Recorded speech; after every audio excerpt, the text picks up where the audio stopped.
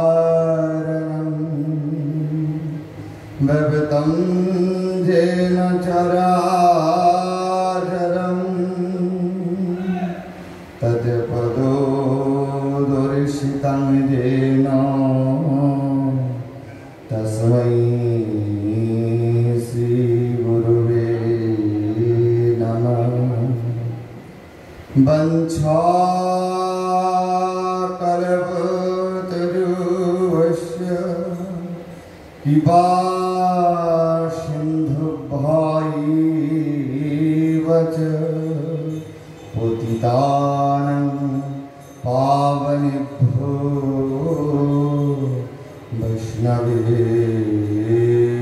भो नमो नमः। जय गुरु।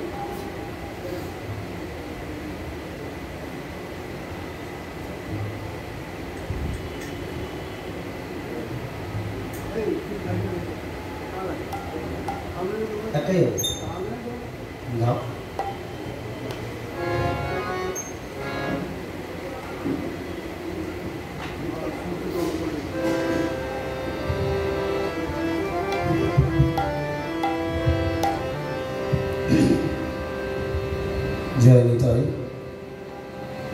উপস্থিত সমস্ত প্রভু সন্তানগণ, সমস্ত সন্ত ভগবান, সকলের চরণে দণ্ডবত প্রণাম প্রভুরক সমস্ত ভক্তবৃন্দের কৃপা প্রার্থী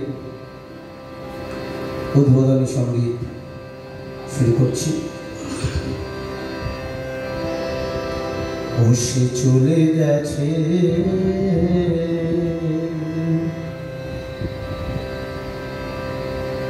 সে চলে গেছে। তোদের দুয়ার হতে দিয়ে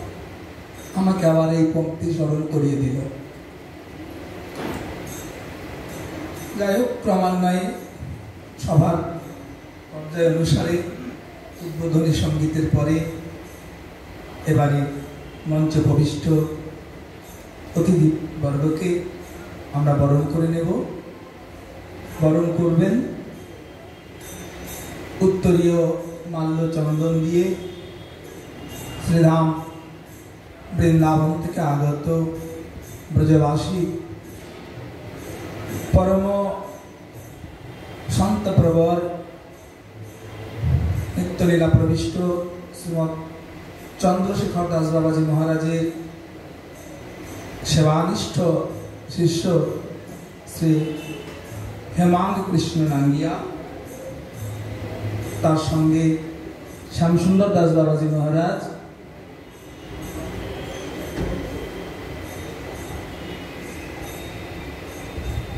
থেকে এসেছে কিষান ভাইয়া। শুভজিৎ আচার্য, এনারা সকলে মঞ্চপরিষ্ঠ অতিথিবৃন্দকে বরণ করে নেবেন।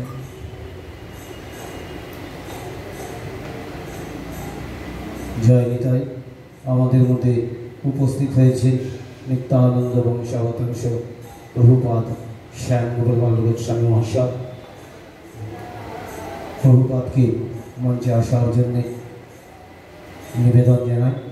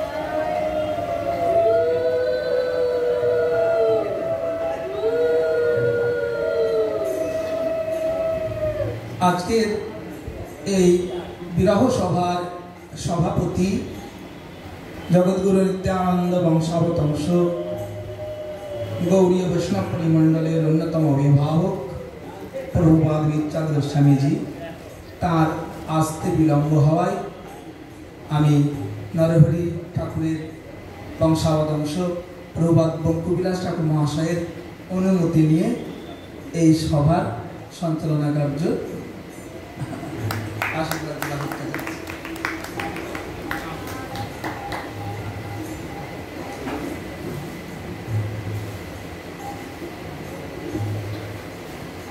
শ্রী রামানন্দ সংবাদ প্রসঙ্গে একটি প্রসিদ্ধ পঙ্ক্তি। আমরা এখানে সকলেই জানি। প্রভু কহে, দুঃখ মধ্যে কোন দুঃখ সার? রায় কহে, কৃষ্ণ ভক্ত বিরহ বিনা দুঃখ নাহি আর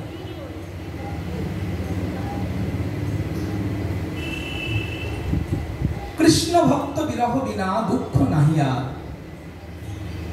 আবার আমরা অনুষ্ঠান সূচিতে বড় বড় করে লিখি, বিরহ মহোৎসব। বিরহের সঙ্গে উৎসব কথাটি যুক্ত করি। উৎসব তো আনন্দের ক্ষেত্রে হয়। বিরহের ক্ষেত্রে কেন? যা জনজাগতিক বিষয় সম্বন্ধে খাটে না। বিপরীতমুখী, তা ঈশ্বর তত্ত্বে গিয়ে মিলিত হয়ে যায়। সেখানে তাই বিরহের সঙ্গে উৎসব কথাটি যোগযুক্ত হয়েছে। যখন কোনো মহাত্মা লীলা প্রবিষ্ট হন, তখন তো তার কাছে সেটি আনন্দেরই দিন। সারা জীবনের সাধন ভজনের পরে তিনি তার আরাধ্যতমের সঙ্গে, তার প্রাণেশ্বরের সঙ্গে প্রাণ দ্বৈতের সঙ্গে মিলিত হন। নিত্য লীলায় সিদ্ধ স্বরূপে প্রবিষ্ট হন। তার ক্ষেত্রে এটা আনন্দের দিন। কিন্তু এতদিন যাকে আমাদের মতো আভাজন নয়ন সম্মুখে দেখছিলাম, হঠাৎ তিনি অন্তর্হিত হওয়ায় আর তাকে দেখি না। চোখের দেখা হবে না তো আর, দেখা হবে মনে মনে। শ্রীমৎ বীরভদ্র দাস বাবাজি মহারাজ তার কীর্তনের কণ্ঠ ইহলোকে স্তব্ধ করে নিত্য লীলায় শ্রী গুরু আনুগত্যে তিনি সেবায় নিযুক্ত হয়েছেন। আমরা আর তার কণ্ঠধ্বনি, কণ্ঠস্বর, তার কীর্তনের সুরমূর্ছনা শুনতে পাবো না।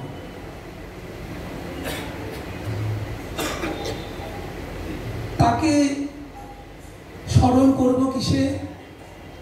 না তো তার কথা দিয়েই তাকে আমরা স্মরণ করব, শ্রদ্ধা তর্পণ করব।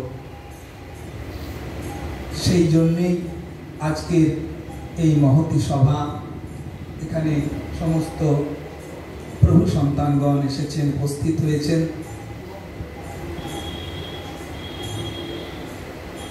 আমি সকলের কৃপাশীর্বাদ নিয়ে অনুষ্ঠান শুভারম্ভ করছি। প্রথমে আশ্রমের পক্ষ থেকে শ্রীমৎ আনন্দ গোপাল দাস বাবাজি মহারাজ, তিনি স্বাগত ভাষণ রাখবেন। শ্রীমৎ আনন্দ গোপাল দাস বাবাজি মহারাজ। জয় নিতাই উপস্থিত সমস্ত প্রভু সন্তান ঘরে চরণে ধন্যবাদ প্রণাম পূর্বক সমস্ত সন্ত ভগবানের চরণে ধন্যবাদ, পূর্বক। আজকের এই অনুষ্ঠান শুরু হয়েছে। বক্তা যেনারা তেনারা সব আসনে উপবিষ্ট আছেন। জেনার সম্বন্ধে আজকে এই স্মরণ সভা তেনার সম্বন্ধে যা বক্তব্য রাখার প্রভু সন্তানগণ রাখবেন আশ্রমের পক্ষ থেকে। আমাকে বলতে বলা হয়েছে, আমার বলার কিছুই নাই, আপনারা সকলেই জানেন। বীরভদ্র দাস বাবাজি আমাদের রাধারমণ গণের শেষ কীর্তনিয়া। এটা বলার উদ্দেশ্য এই নয় যে কাউকে ছোট করা, কোনো কীর্তনিয়াকে ছোট করা। এটা বলার উদ্দেশ্য ওনার যে কণ্ঠস্বর এবং ওনার যে কীর্তনের বুৎপত্তি সেই কণ্ঠস্বর আর সেই বুৎপত্তির পরে আর ওই কণ্ঠস্বর আর সেই কীর্তনের সেই বুৎপত্তি আর দ্বিতীয় কারোর মধ্যে চোখে পড়ে না। সেটা এখানে প্রভু সন্তানগণ আছেন, সকলেই দেখছেন। আজ আমরা যার বিবাহ সভা করছি, তাকে স্মরণ করার জন্যে। কিন্তু আরও বিরহের বিষয় হলো, আমাদের নদে- নীলাচল বৃন্দাবনে রাধারমণ গণের যে কীর্তন রাধারমণ গণের পরিচিতিটাই হলো শ্রীপাদ রামদাস বাবাজি মহারাজের কীর্তন। এটাই আমাদের মুখ্য পরিচিতি। আর আমরা যদি চরিত্রদা চরিত্রদাকে যদি অবলম্বন করতে যাই তাহলে চরিত্রদায় একটি বস্তু, সমস্ত কথার মধ্যে দেখুন, আমাদের গুরুসূত্র, গুরুপুত্র গুরু পরিবার এই তিন লয়ে কর আচার ব্যবহার। তো সুতরাং আমাদের সূত্রটাই হলো গুরু আনুগত্যের সূত্র। যাই হোক, আজ কালের প্রবাহে, আজ পরিস্থিতির পরিপ্রেক্ষিতে আমরা সকলেই সে জায়গা থেকে নিজেদেরকে বঞ্চিত করে ফেলেছি। আজ আমাদের রাধারমণগণের কীর্তন একেবারে শেষ পর্যায়ে এসে পৌঁছেছে। জানি না, বড় বাবাজি মহারাজের কি ইচ্ছা? বাবাজি মহারাজের কি ইচ্ছা? তেনারাই জানেন তেনাদের কি ইচ্ছা, কীর্তন আজ কি হবে, কি পরিস্থিতি হবে। আজ সেই বিশেষ দিনে সেই কীর্তন সম্রাটের শ্রীচরণে আমার জ্যেষ্ঠ গুরুভ্রাতা তার চরণে ধন্যবাদ প্রণাম করে আমি আমার এই সংক্ষিপ্ত কথা এখানেই রাখছি। বহু ভালো ভালো বক্তা আছেন আর আজকে আমাদের সভাপতি শ্রী প্রভুপাদ বীরচাঁদ গোস্বামী মহাশয় উপস্থিত হয়েছে। আজকে দেখুন,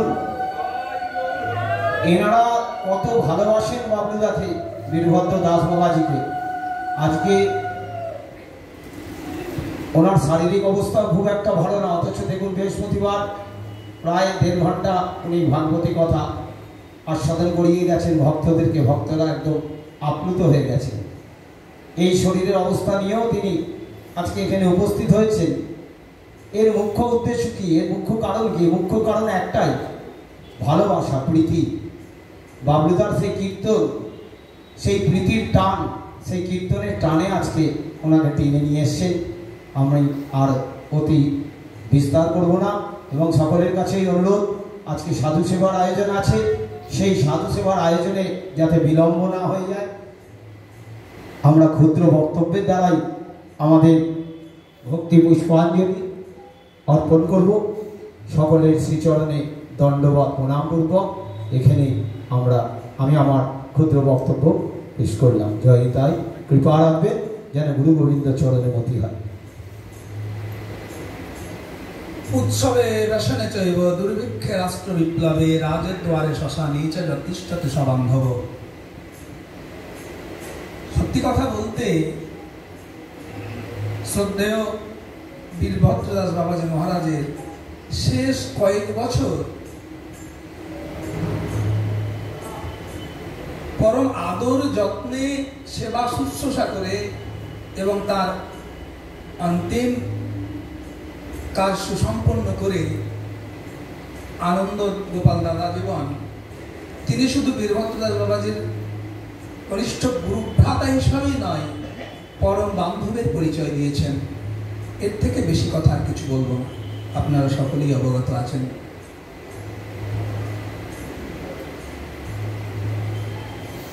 পরমা পূজ্যপাদ শ্রী রাধা রমন চরণ দাস বাবাজি মহারাজ কৃপাপুষ্ট শ্রী শ্রী রাধা রমন গণের প্রাণ পুরুষ। শ্রীপাদ রামদাস বাবাজি মহারাজকে তার সর্বস্ব ধন শ্রী শ্রী প্রভু জগৎবন্ধু সুন্দর বলেছিলেন, তোমরা কীর্তন ভিন্ন, অন্য কোনো ব্রত বা নিয়ম করিও না। তাই রাধারমণগণের প্রাণী হচ্ছে কীর্তন। বর্তমানে সেই কীর্তনের ধারক, বাহক ছিলেন শ্রীমৎ বীরভদ্র দাস বাবাজি মহারাজ। তার বিরহে সকলে বিরহাতুর আজকের এই সভার সভাপতির আলো আসন অলঙ্কৃত করেছেন গৌরীয় বৈষ্ণব পরিমণ্ডলের অভিভাবক জগৎগুরু নিত্যানন্দ বংশাবতংশ প্রভুপাদ বীরচাঁদ গোস্বামীজি। তাকে বরণ করেও ইতিমধ্যে নেওয়া হয়েছে। এবারে বাবলুদার প্রতি, অর্থাৎ শ্রীমৎ বীরভদ্রদাস বাবাজি মহারাজের প্রতি বা পুষ্পাঞ্জলি সমর্পণ করবেন শ্রীধাম পুরী থেকে আগত হরিদাস ঠাকুর সমাধি মঠের সেবক শ্রীমৎ গদাধর দাস বাবাজি মহারাজ।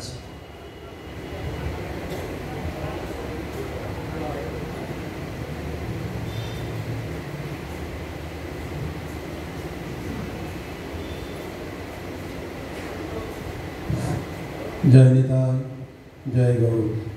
বন্দে অহম শ্রীগুরু শ্রীযুতপদকমলম শ্রীগুরু বৈষ্ণবাশ্চ শ্রীরূপম সাগ্রদাতম সহগণ রঘুনাথা নিতম তম সজীবম। সাদ্বৈতম সাবধূত পরিজন সহিত কৃষ্ণ চৈতন্য দেব।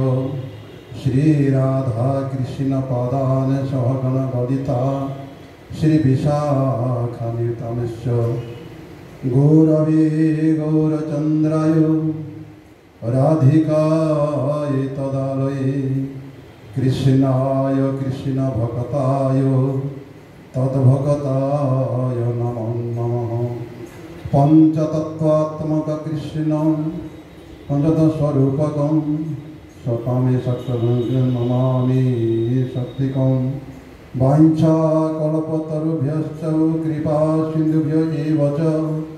পতিতান পাবনেভ্যো বৈষ্ণবেভ্যো নমো নমঃ। জয় রূপ সনাতন ভট্ট রঘুনাথ।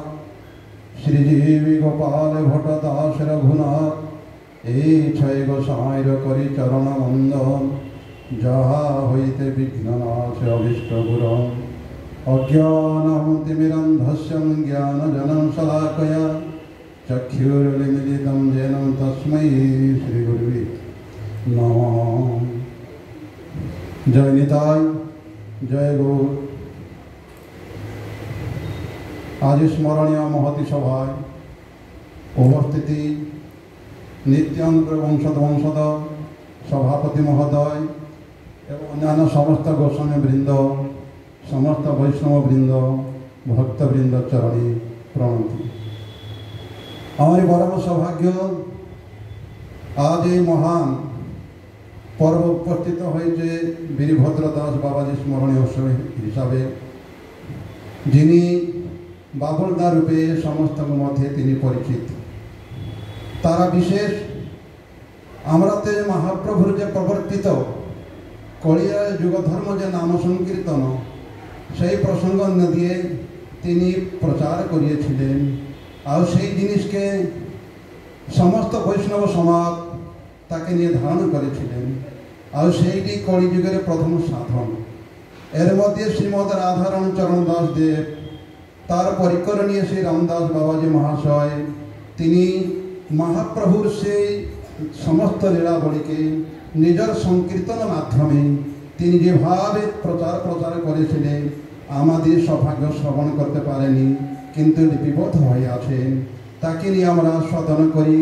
সেই পরম্পরা ক্রমে হৃদয়ানন্দ দাস বাবাজি তিনি মহান কীর্তনা ছিলেন, তার আধারভূত হয়ে বীরভদ্র দাস বাবাজি, তিনি যে কীর্তন করেছেন, সমস্ত হৃদয়ের মধ্যে তার যে আবৃত্তি, সেই যে বাবাজি মহাশয়ের মহাপ্রভুর যে আক্ষেপ সেই জিনিসটি তিনি সকলের হৃদয়ের মধ্যে জাগরিত করে দিয়েছিলেন। তিনি চলে যাওয়াতে আজ সেই জাগরিত করা শোভা আমাদের মধ্যে আর কর্ণগোচর হবে না। ইয়া বইয়ালে দুঃখ আর কিছু নেই। সেই নিয়ে সেই বীরভদ্র দাস বাবাজির চরণে শত শত নমন করি। তিনি গুরুপাদ পদ্মে আশ্রত নিয়েছেন স্বভাব গমন করেছেন। এমন তিথি সে নির্দেশ করলেন। অতি চিরস্মরণীয়। যে কালে যেখানে মহাপুলীলা হয়, সেই সময়ে বাবাজি মহাশয় আপন গণ নিয়ে তিনি উপস্থিত হন। প্রাককালে আমাদের রথযাত্রার পূর্ব মুহূর্তে তিনি স্বধামে গমন করেছেন। তবে তিনি এখানে স্থূল দিয়েছিলেন কিন্তু সূক্ষ্ম সবে তিনি সেই যে ভক্তি সম্মেলন, সেই যে ওড়িয়া ওড়িয়া মিলন ধানি সমব রথাকের কীর্তন অর্তন এসব স্মরণীয় ভাব পরবর্তীকালে ছিল। তার আগে তিনি স্বদেহে তিনি সেখানে গিয়ে আমার মনে হয় তিনি সেখানে উপদিত হয় সেই স্মরণীয় করে তার নিত্যলীলা তিনি সমাপ্ত করেছেন। এই কৃপা রাখুন, সেই তার স্মৃতি যেটি আমার কর্ণগোচর হয়েছে, যেন আমরা সেই স্মরণকে হৃদবোধ করে, সেই বাবাজি মহাশয়ের যে হাহাকার করানো বাবা প্রভুর চরণে যে আরতি জানানো, সেটি যেন হৃদয়ের মধ্যে উদ্ভূত হোক। এই বলে আমার বাণীকে সমাপ্ত করলাম। জয় শ্রী রাধে শ্রীমৎ গদাধর দাস বাবাজি মহারাজ, তিনি বাঘপুষ্পাঞ্জলি সমর্পণ করলেন। বাবাজি মহারাজের যে কৃপা শক্তি যা সঞ্চালিত হয়েছিল পরবর্তীকালে শ্রীমৎ হৃদয়ানন্দ দাস বাবাজি মহারাজের মধ্য দিয়ে, এবং সেই কৃপা শক্তি সঞ্চালিত হয়েছিল। শ্রীমৎ বীরভদ্র দাস বাবাজি মহারাজের মধ্যে। আমরা সকলেই বিষাদমগ্ন, হয়তো আমরা সেই কীর্তনের মূর্ছনা আস্বাদন করতে পারব না। কিন্তু শ্রীপাদ বাবাজি মহারাজের চরণে আমাদের দৃঢ় বিশ্বাস, তোমার পতাকা যারে দাও, বহিবারে দাও তারে শততি নিশ্চয় পরবর্তীকালে বাবাজি মহারাজ তার কৃপা পুষ্ট কাউকে আবার আমাদের মধ্যে পাঠাবেন। এবারে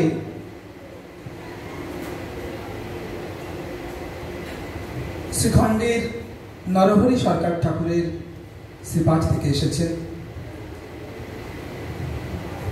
আমাদের গৌরবাসীর একটি কথা, আমাদের গৌর সত্য শিরোমণি, এই গৌর পারম্যবাদের অন্যতম প্রবক্তা, গৌর অন্তরঙ্গ পার্ষদ শ্রী নরহরি সরকার ঠাকুর মহাশয় তার সেই ধারার ধারক বাহক প্রভুপাদ বঙ্কুবিলাস ঠাকুর মহাশয়, তিনিও আজকের এই ব্যথার সমব্যথী। তিনি এসেছেন, তার মুখ থেকে কিছু কিছু স্মৃতিকথা আমরা স্মরণ করব। শ্রীমৎ বঙ্কুবিলাস ঠাকুর মহাশয়।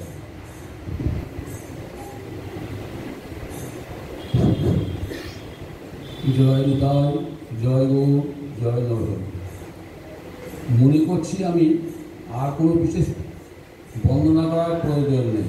আমার শ্রী আমার সম্মুখে যারা বসতেন, তাদের শ্রীমুখ তাদের চরণ কবলে শতকোটি ধন্যবাদ জানিয়ে আমাদের বীরভদ্র দাস বাবা মহারাজের কথা একটুখানি নিবেদন করছি।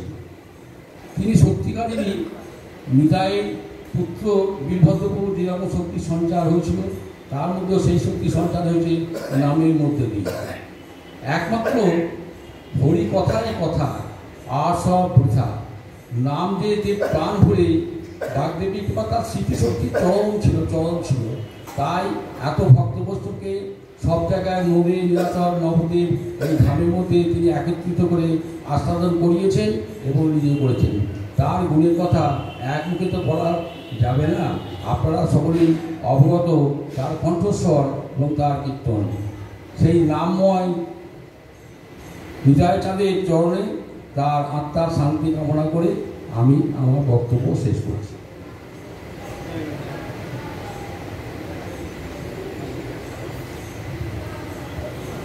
পরম পূজ্যপাদ শ্রীমৎ বঙ্কুবিলাস ঠাকুর, তিনি তার শ্রীমৎ বীরভদ্রদাস বাবাজি মহারাজের আত্মা শান্তি কামনা করলেন। এবারে জগৎগুরু নিত্যানন্দ বংশাবতংশ প্রভুপাদ শ্যামগোপাল গোস্বামী তিনি আজকের প্রাসঙ্গিক বক্তব্য উপস্থাপন করছেন। প্রভুপাদ শ্যামগোপাল গোস্বামীজি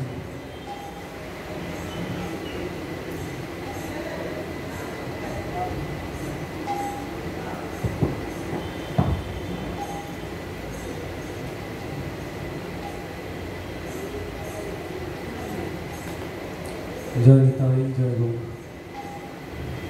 যশ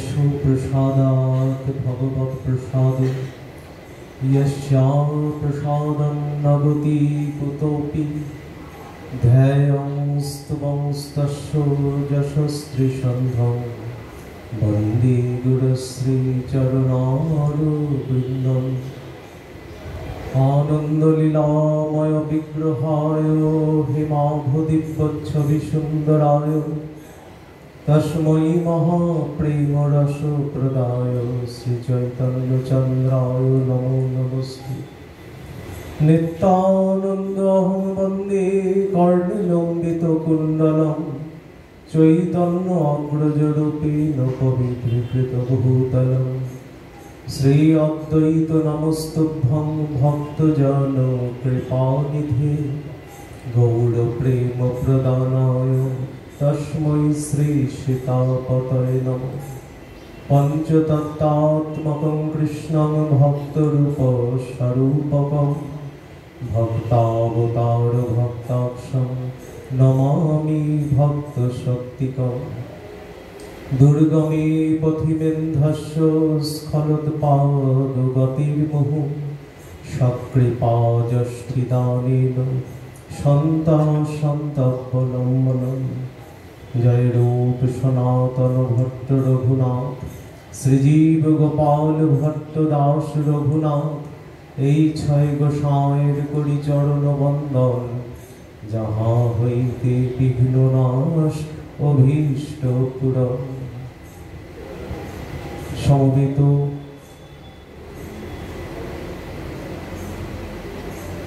সজ্জন মণ্ডলী, বৈষ্ণববৃন্দ সন্ত মণ্ডলী এবং মুখ্যরূপে আমাদের মঞ্চে উপবিষ্ট আছেন নিত্যানন্দ বংশাবতংশ আমার কাকা প্রভুপাত শিলবীর চার গোস্বামীজির চরণে আমার অনন্ত কোটি দণ্ডবত প্রণতি জানিয়ে এবং প্রাণারাধ্য ঘটন মঙ্গল শ্রীগৌর নিত্যানন্দের শ্রী বিগ্রহদ্বয়ের চরণে এবং বিগ্রহগণের চরণে আমার অনন্ত কোটি শ্রীকৃষ্ণ চৈতন্য প্রভু স্বয়ং ভগবান, তাহার চরণে মোর অনন্ত প্রণব আজকের আমরা সমবেত হয়েছি, মুখ্য উদ্দেশ্য হচ্ছে আমাদের প্রাণকটি প্রিয়তম শ্রীমান গৌর নিত্যানন্দের যে নিত্য লীলা, সেই নিত্য লীলা রসকীর্তন, সেই কীর্তনের পুরোধা ইদানিংকালের সাধু মহাত্মাগণের যিনি নয়নের মণি। শ্রীপাদ রামদাস বাবাজি মহারাজ, প্রাতঃস্মরণীয় ব্যক্তিত্ব। আপনারা সকলেই জানেন বাবাজি মহারাজের কীর্তন। সেই কীর্তন অতি বড় পাষণ্ডীর চিত্তকে বিগলিত করে দিতে পারত। সেই পাষণ্ডী চিত্ত বিগলন যে কীর্তন সেই কীর্তন পরম্পরাকে শ্রীপাদ বড় বাবাজি মহারাজের কৃপাপুষ্ট শ্রীপাদ রামদাস বাবাজি মহারাজ যেমন করে অশেষে বিশেষে প্রচারণ করেছিলেন। শুধু প্রচার নয়, আচরণ করেছিলেন। আচার প্রচার দুই না হলে তো সেটি বলবতী হয় না। নাম উপদেশ করলাম। কিন্তু আমি নিজে যদি নামের প্রতি রুচিশীল না হই, তাহলে সেই উপদেশটি কার্যকরী হবে না। শিবাদ বাবাজি মহারাজ সেই রকম আচারের মূর্তিমন্ত বিগ্রহ এবং যুগপথ একই সাথে তিনি প্রচার করেছিলেন আমার গৌর নিত্যানন্দের সেই করুণার কথা, সেই করুণার লীলাগুলি স্মরণ, নিত্য যে লীলা যে লীলা অদ্যাপিহ হয়ে চলেছে। প্রভুরা লীলা সম্বরণ করেছেন, তাই বলে কি লীলা স্তব্ধ হয়ে গেছে? লীলা জবনিকাপাত হয়ে গেছে? তা তো নয়। এই লীলা তো নিত্য। কোনো না কোনো ব্রহ্মাণ্ডে কোথাও না কোথাও সেই লীলা সংগঠিত হচ্ছে। অদ্যাপিহ অদ্যাপিহ সেই লীলা করে গৌর রায়। কোন কোন ভাগ্যবানে দেখিবারে পায়। আমাদের দেখবার মতো নয়ন নাই। আমাদের সেই ভক্তির অন্তরকে ভক্তি মহারানীর কৃপা থেকে আমরা বঞ্চিত? স্পর্শ হয় না। সেই ভক্তি রসে পুষ্ট না হলে নয়ন দুটি সেই প্রেম কজ্জলের দ্বারা যদি রঞ্জিত না করা যায়, তাহলে তো সেই লীলাস মরণ বা দর্শন হবে না। সেই লীলা স্ফূর্তি থেকে আমরা চিরতরে বঞ্চিতই হয়ে থাকব। সেই জন্য বলছেন শাস্ত্রে প্রেমাম জনচ্ছুরিত ভক্তি বিলোচনেন, সন্ত সদৈব হৃদয়ে সুবিল কয়ন্তি ইয়ং শ্যাম সুন্দর অচিন্ত গুণস্বরূপম গোবিন্দ মাদি পুরুষম তমহং ভজামি। আপনাদের মতো মহাত্মাগণ, সাধুগণ, সন্তগণ, তারা তো দর্শন থেকে বঞ্চিত হন না। নিরবধি তারা সেই লীলা রাজ্যে বিচরণ করছেন চোখ বন্ধ করলেও দেখছেন আবার চোখ মিললেও দেখছে। কেন? বলে যে সেই নয়নে প্রেম রূপ কাজল আপনাদের লাগানো রয়েছে। সেই প্রেম কাজল দিয়ে সেই লীলা রস দর্শন হচ্ছে। যাই হোক যে বিষয়ে আমরা সমবেত হয়েছে, যে উদ্দেশ্যকে সম্মুখে রেখে, আজকে বড় দুঃখের দিন। এক এক করে সব আমাদের ছেড়ে চলে যাচ্ছে। যদিও মহাত্মাদের কথা, বাবাজি মহাস মহাশয় সেই বাণী যে কেউ কোথাও যান নাই, কেউ কোথাও যান নাই, সবাই রয়েছে, অপ্রকট লীলায় রয়েছে।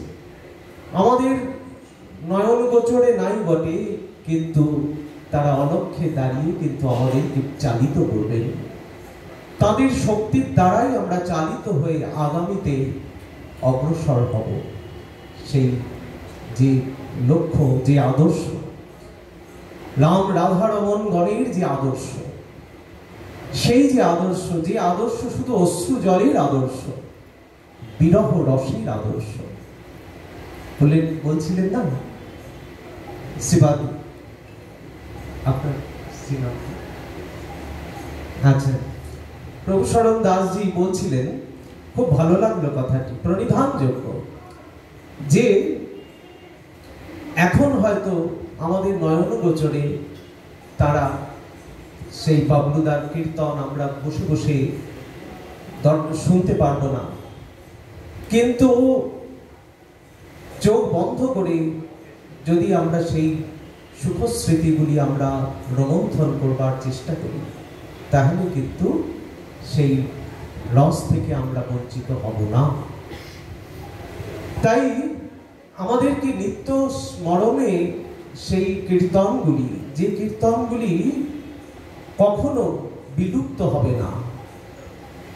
কীর্তনিয়ার অভাবে হয়তো কীর্তন সেই ধারা বিলুপ্ত হবে। বললেন, না না, কখনো তা ভাববেন না।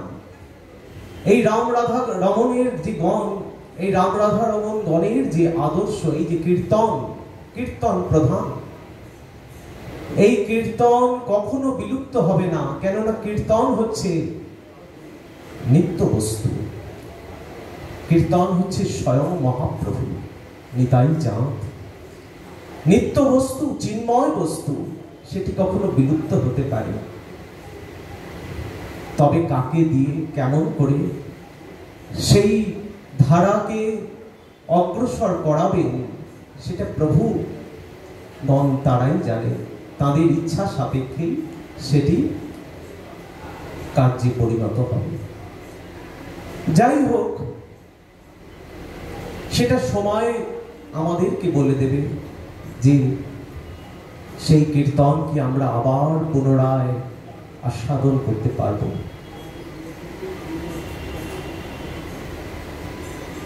শ্রীমৎ বীরভদ্র দাস বাবাজি মহারাজ, তিনি আমার দৃষ্টিতে সাক্ষাৎ কীর্তন বিগ্রহ স্বরূপ না হলে এমন কীর্তন রস আস্বাদন করা যায় না। মহাপ্রভু তো কীর- সংকীর্তন পিতা। আর যেন সেই কীর্তন স্বরূপ, অর্থাৎ মহাপ্রভুর পুত্র স্বরূপ, মহাপ্রভু তো বিবাহ করেছেন, কিন্তু তার তো পুত্র নাই। তিনি তো সন্ন্যাস করে চলে গেলেন। বললেন হ্যাঁ পুত্র আছে তো। না হলে আমরা প্রণাম করি কি করে রোজ? নমস্ত্রিকাল সত্যায় জগন্নাথ সুতায় চ সভৃত্তায় সপুত্রায় দেখুন, শ্লোকের মধ্যে কি বলছে? সভৃত্তায় সপুত্রায় সকলত্রায় তে নম। এই বলে তো প্রভুকে প্রণাম করি, মহাপ্রভুকে। তাহলে পুত্র নাই কে বলল? যিনি জগৎ পিতা, তার পুত্র নাই, এই কখনো হতে পারে? তিনি সংকীর্তন পিতা। সংকীর্তনে যিনি রাস প্রকটন করেছেন এবং সেই রস, যিনি সেই রসকে ধারণ করেছিলেন ধারক বাহক এবং অগণিত ভক্ত মণ্ডলীর হৃদয়কে যিনি আনন্দ বর্ধন করেছেন এবং ভক্তি রসেতে আপ্লুত করে দিয়েছেন, সেই তিনি হচ্ছেন আমাদের বীরভদ্র দাস বাবাজি মহারাজ, বাবলুদা। কত রসিক ছিলেন, ভক্ত তো রসিকই হন। ভক্ত রসিক, অর্থাৎ প্রেমিক। কেমন জানেন একটু হালকা কথাই বলি। সবসময় গুরুগম্ভীর কথা, আমাদের হয়তো সেটা অনেকের ভালো লাগবে না। একটু হালকা কথা বলি, আবার গুরুগম্ভীর কথাতে ফিরে আসব। সেখানে বাবলুদা আমাকে যে সম্বোধনটা করতেন, কি স্নেহের চোখে দেখতেন। এত অসুস্থতা শেষের দিকে। পাটবাড়িতে গিয়েছি কোনো একটি উৎসবে, বিশেষ উৎসবে। সব উৎসবে তো যাওয়া হতো না, বিশেষ বিশেষ উৎসবে।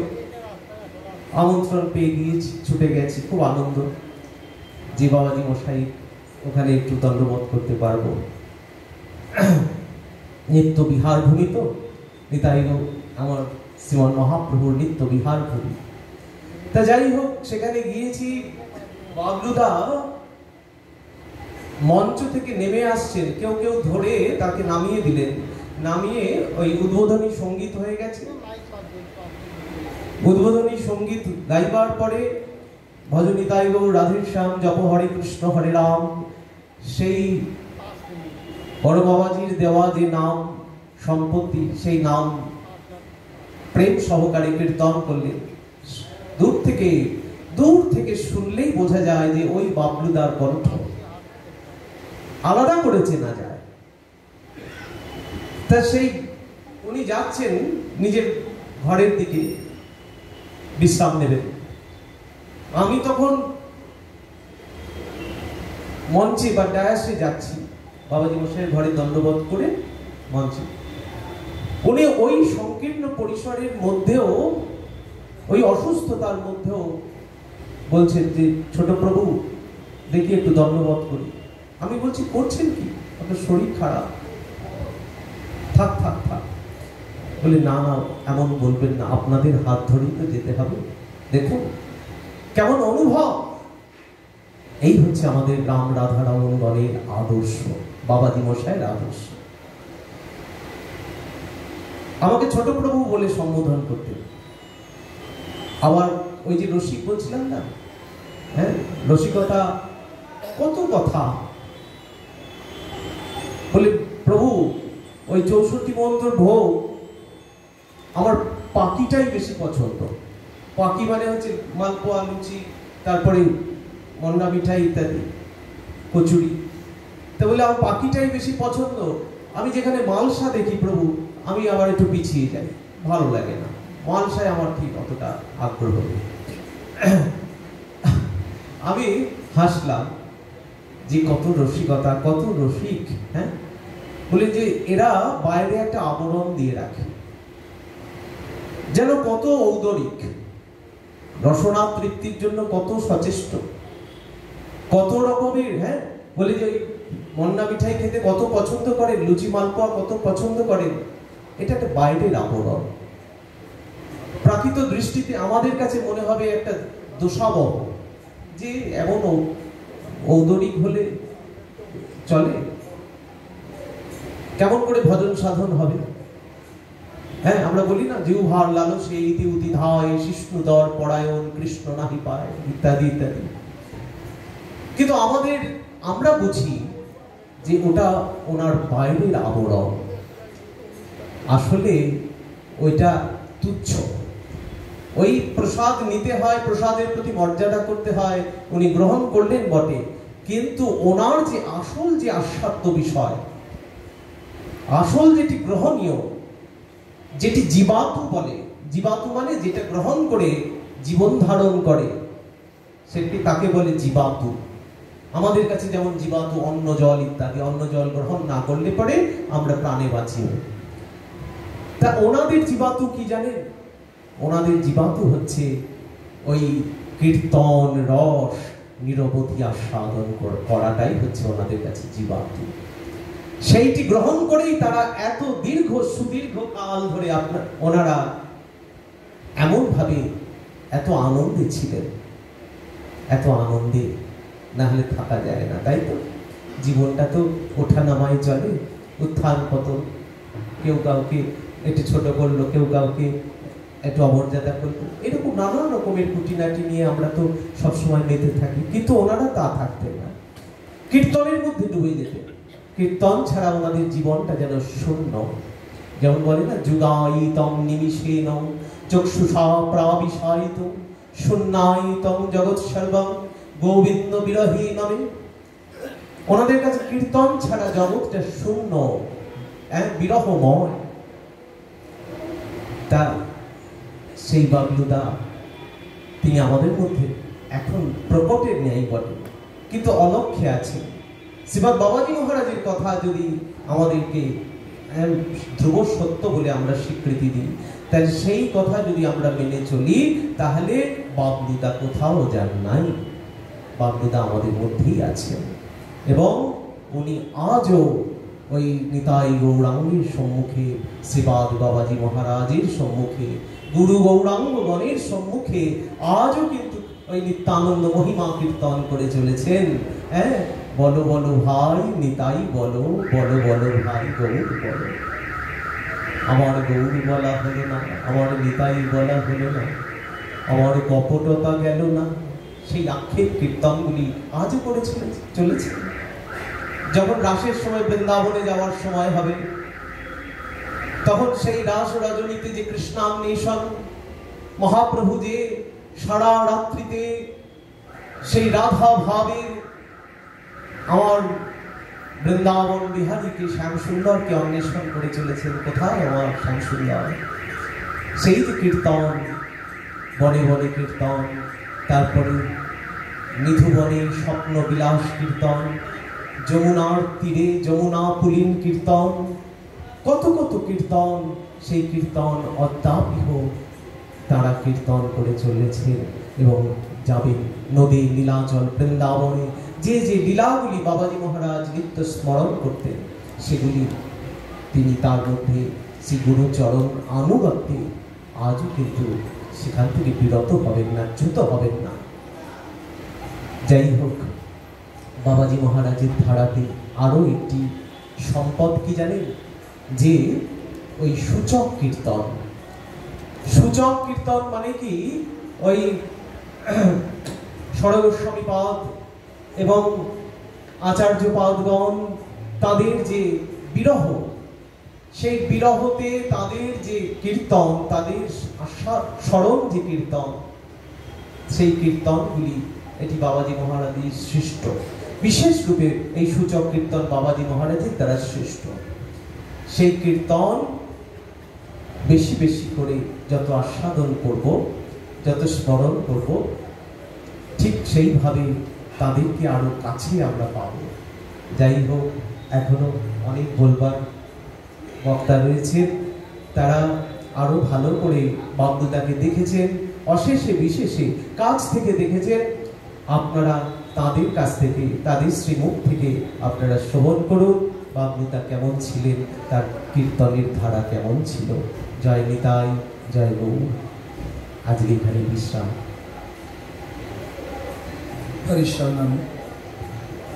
প্রভুপাদ শ্যামগোপাল গোস্বামীজি, তিনি বাবলুদার যে রসিকতা করার প্রবণতা তাকে আমাদের সামনে তুলে ধরেছেন।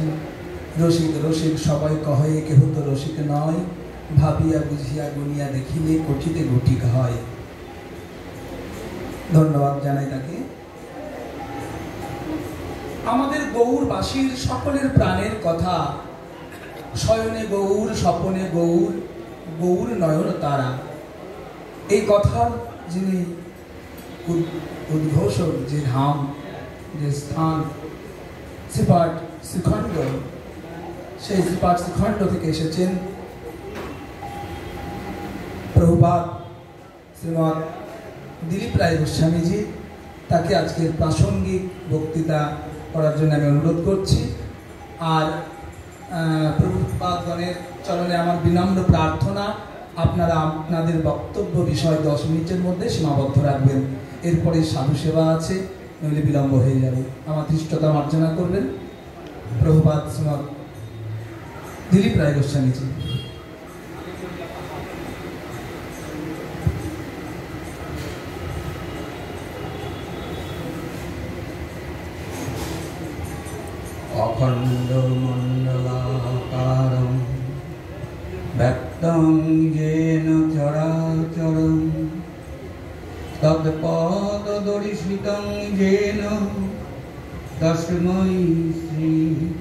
গুরবে নম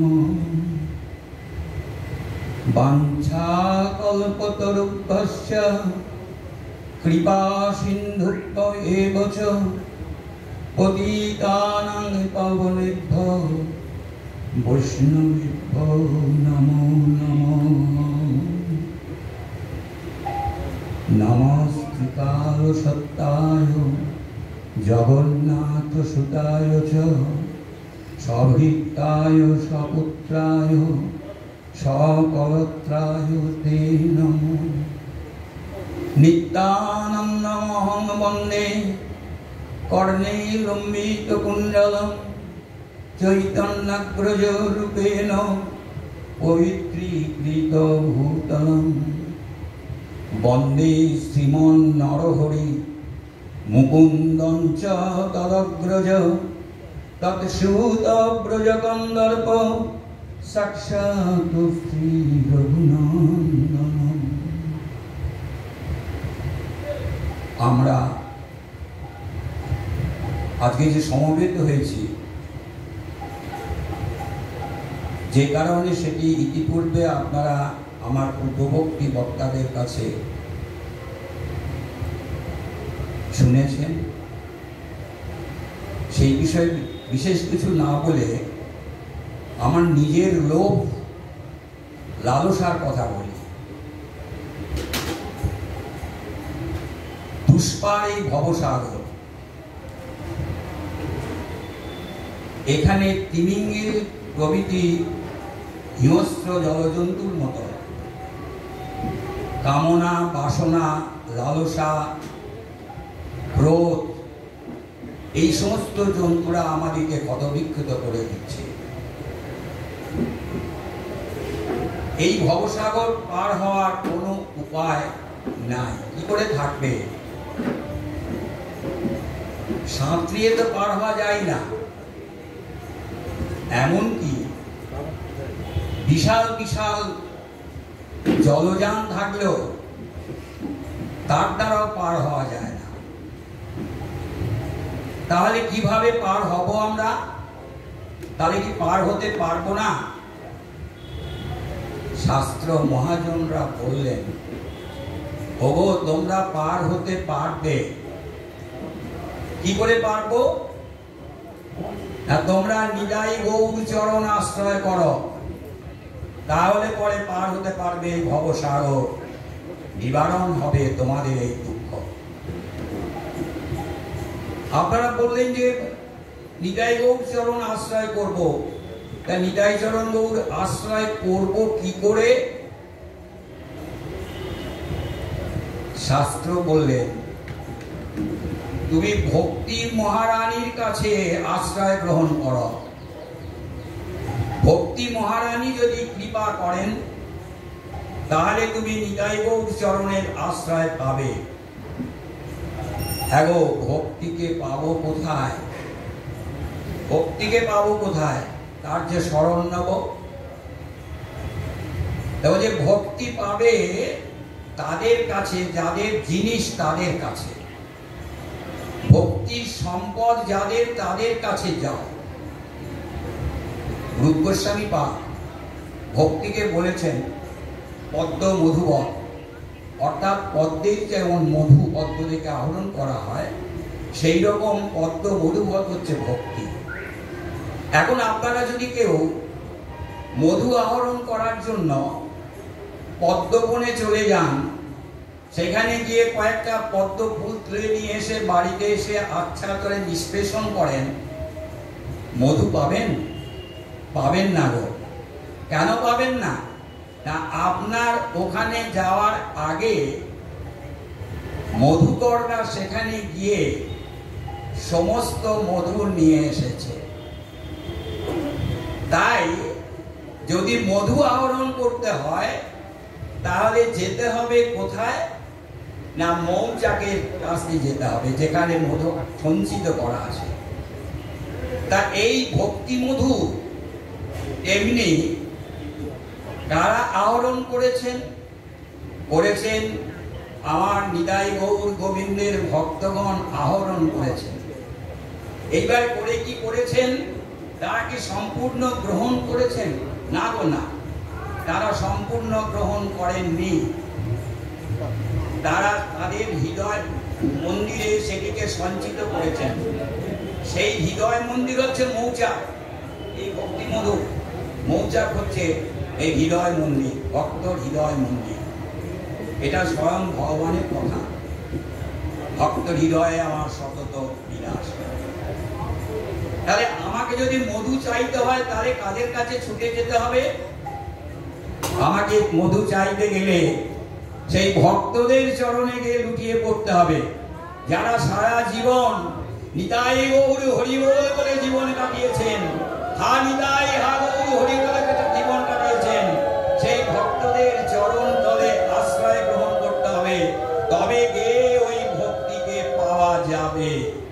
ভক্তি ভগবান দিতে পারেন না গো।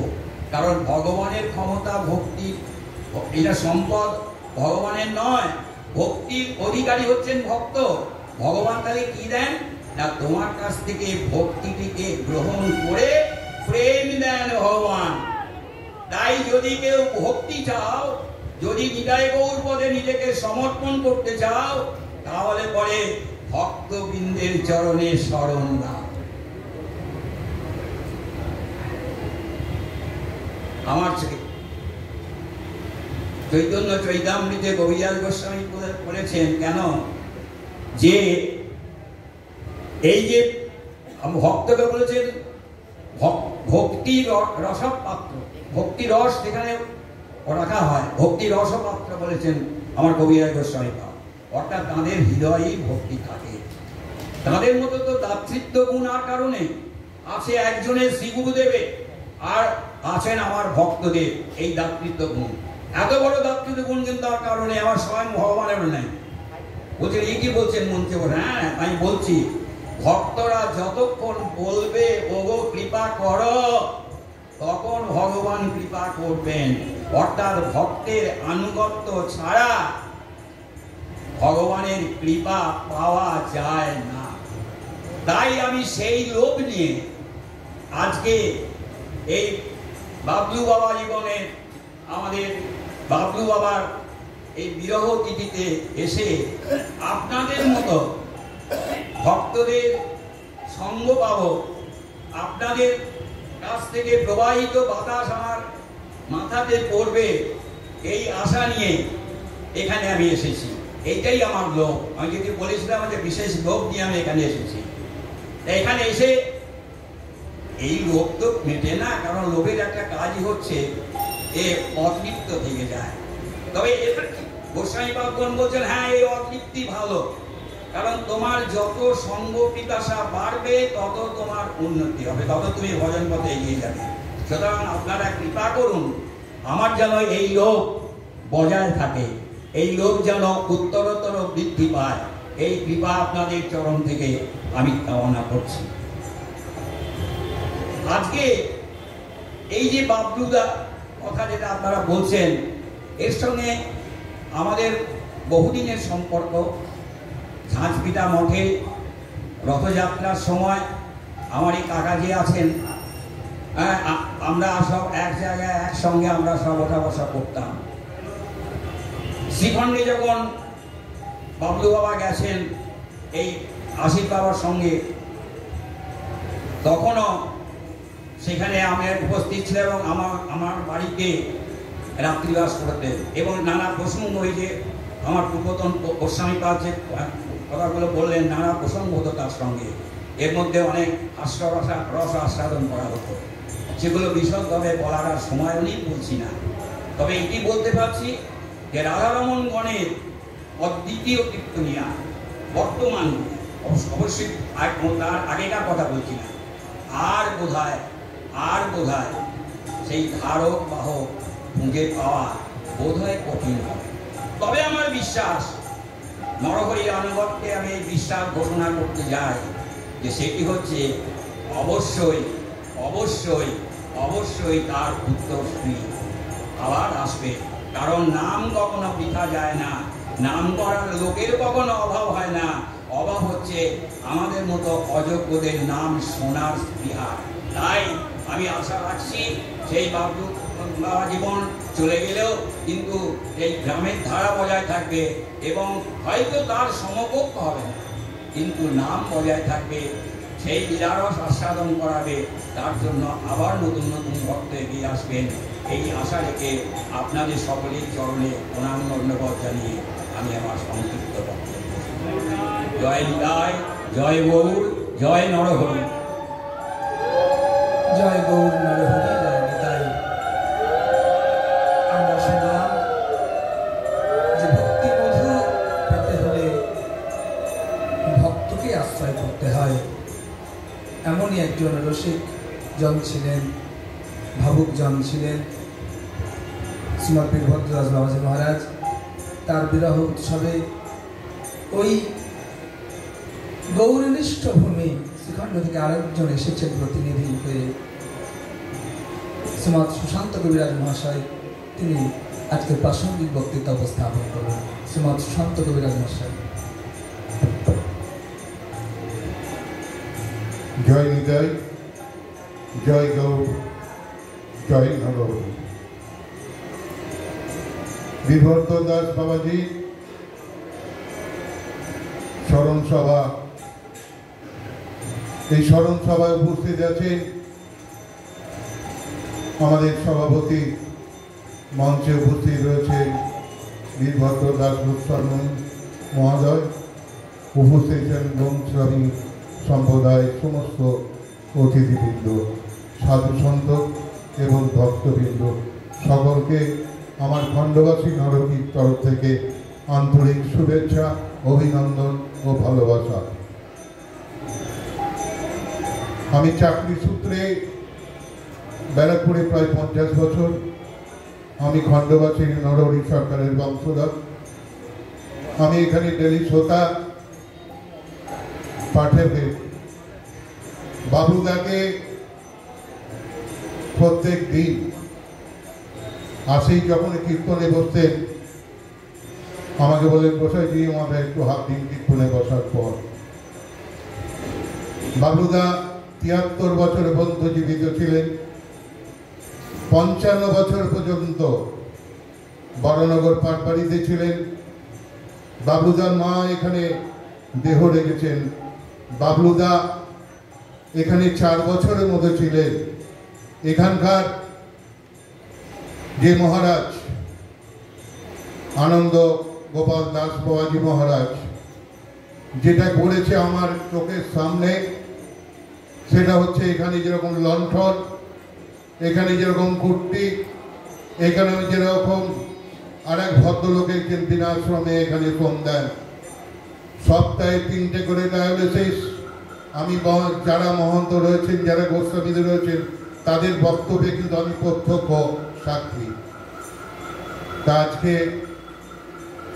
তিনটে করে সপ্তাহে ডায়ালিসিস এবং কত লক্ষ টাকা খরচ হয়েছে সেটা আনন্দ গোপাল দাস বাবাজি মহারাজ জানতে পারবেন। বেশ কিছু ওনার শিষ্য ছিলেন না, ভক্ত। রাজস্থান থেকে আরম্ভ করে দিল্লি থেকে আরম্ভ করে যখন মৃত্যুর আগে, কয়েকদিন আগে বলতে এসে গিয়ে ওনার সাথে সাক্ষাৎ করে গেছেন, প্রণাম করে গেছেন, ভক্ত ছিলেন না। নিরলস, এখানে যখন কীর্তনে বসতেন, টানতে পাচ্ছেন না। আনন্দ গোপাল দাস বাবাজি দোহারে ভূমিকা পালন করতে আজকে অনেকেই যারা, বিশেষ করে যারা মহন্তদয় যারা গোস্বামী গোস্বামীদয় যারা বলে গেলেন যে আমি দ্বিতীয় বাবলুদা পাবো না। আমি আশা করব আপনারা বাবলুদার আত্মার শান্তি কামনায় সকলেই তার কামনা করুন। এই দু চারটে কথা বলে বক্তব্য আমি শেষ করছি এই কারণেই।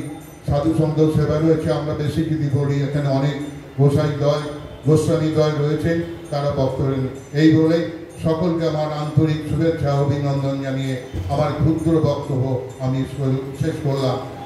নমস্কার।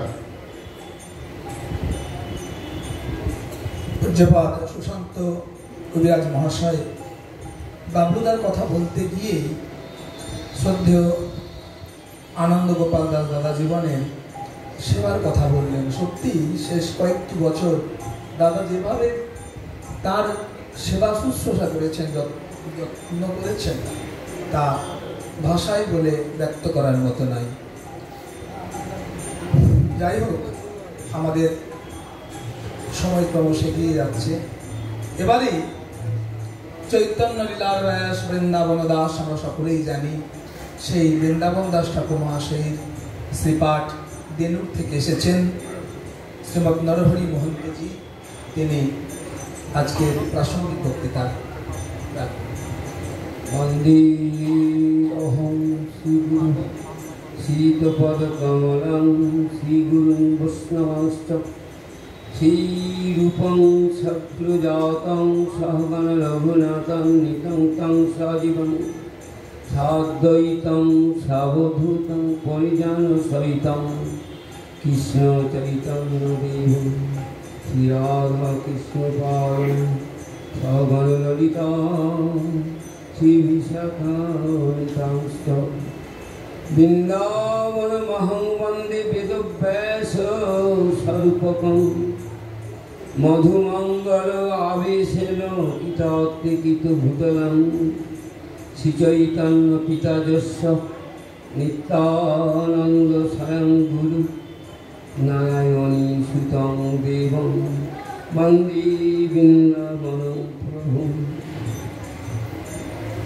আমি চৈতন্য লীলা ব্যাস বৃন্দাবন দাস ঠাকুরের পাঠ শ্রীপাঠ্যের থেকে এসেছি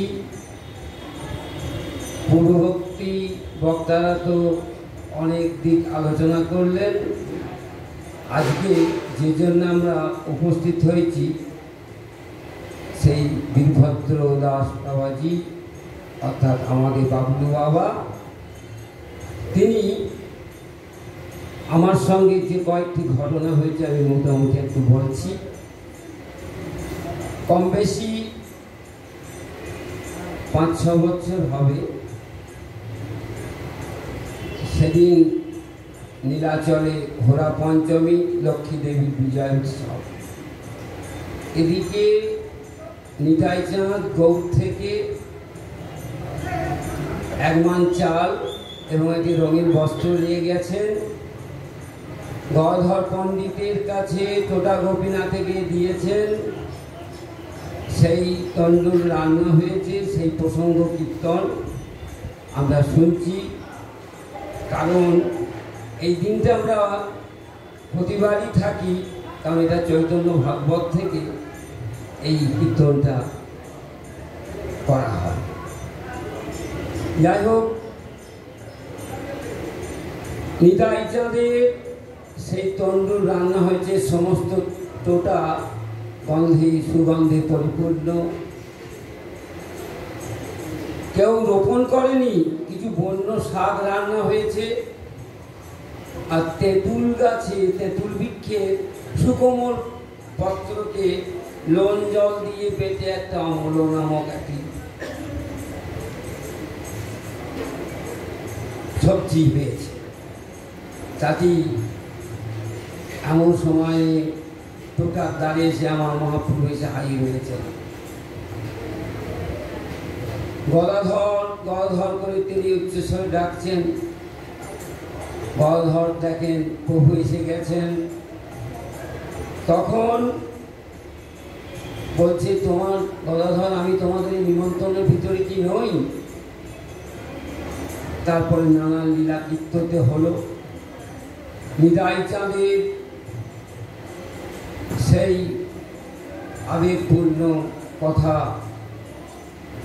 গৌরহরি সেই আবেগপূর্ণ কথা, গধা পণ্ডিতের সেই মিলিত কথা, যে গানের মাধ্যম দিয়ে আমাদের বীরভদ্র বাবা যে শ্রবণ করেছেন আজও কানে বাজছে।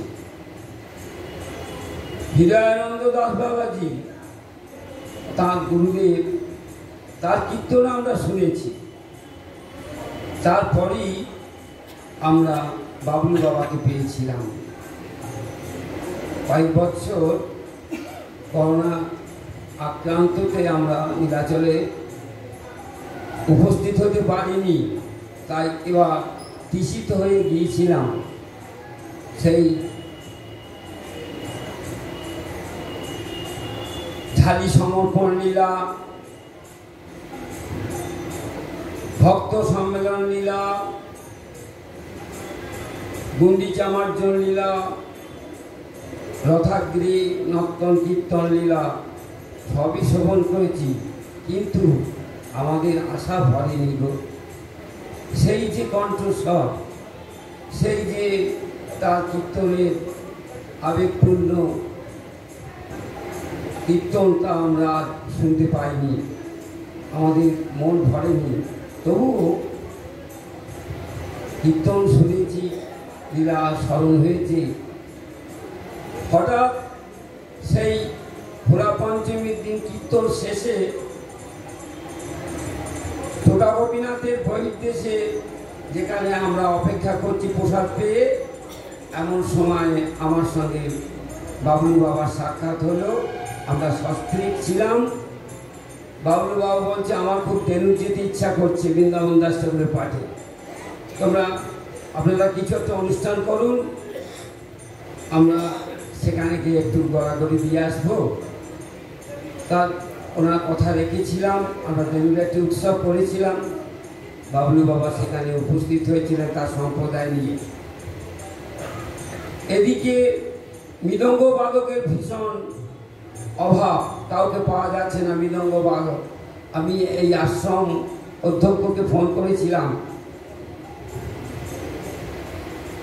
যে একজন কীর্তনিয়া, কীর্তনের জন্য একটি মৃদঙ্গ বাদককে পাঠিয়ে দেওয়ার জন্য। তা যাই হোক, আনন্দগোপাল বাবা।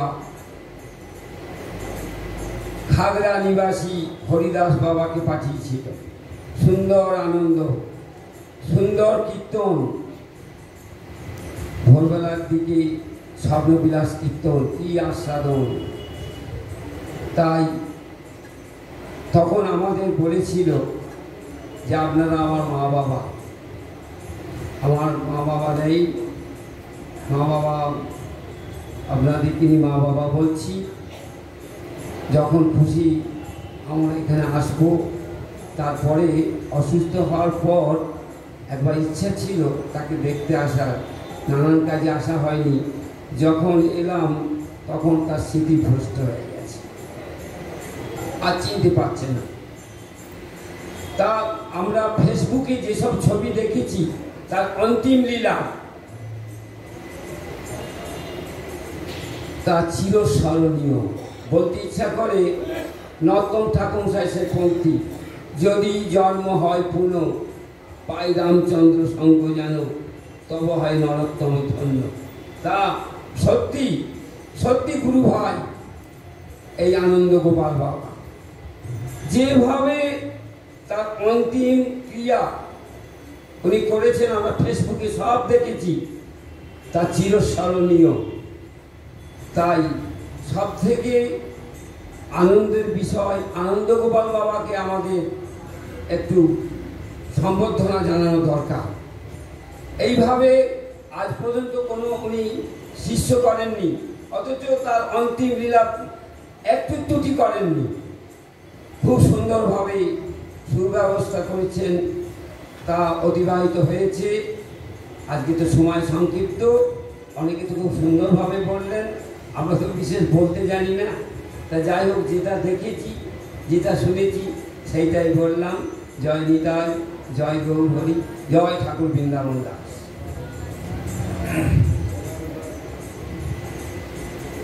ধন্যবাদ জানাই শ্রীমৎ নরহরি মহন্তজিকে। বাবলুদা সস্ত্রীক শ্রী নরহরি মহন্তজিকে পিতৃমাতৃ সম্বোধন করেছেন। সত্যি কথা বলতে কি, গৌরাঙ্গ গণের সঙ্গে সম্বন্ধ পাতানোই তো আমাদের মূল লক্ষ্য। তাদের সম্বন্ধেই আমাদের সম্বন্ধ। এবারে শ্রীপাঠ দেনুর থেকেই এসেছেন শ্রীমৎ নিমাই মহন্ত। তাকে কিছু বলার জন্য অনুরোধ করছি।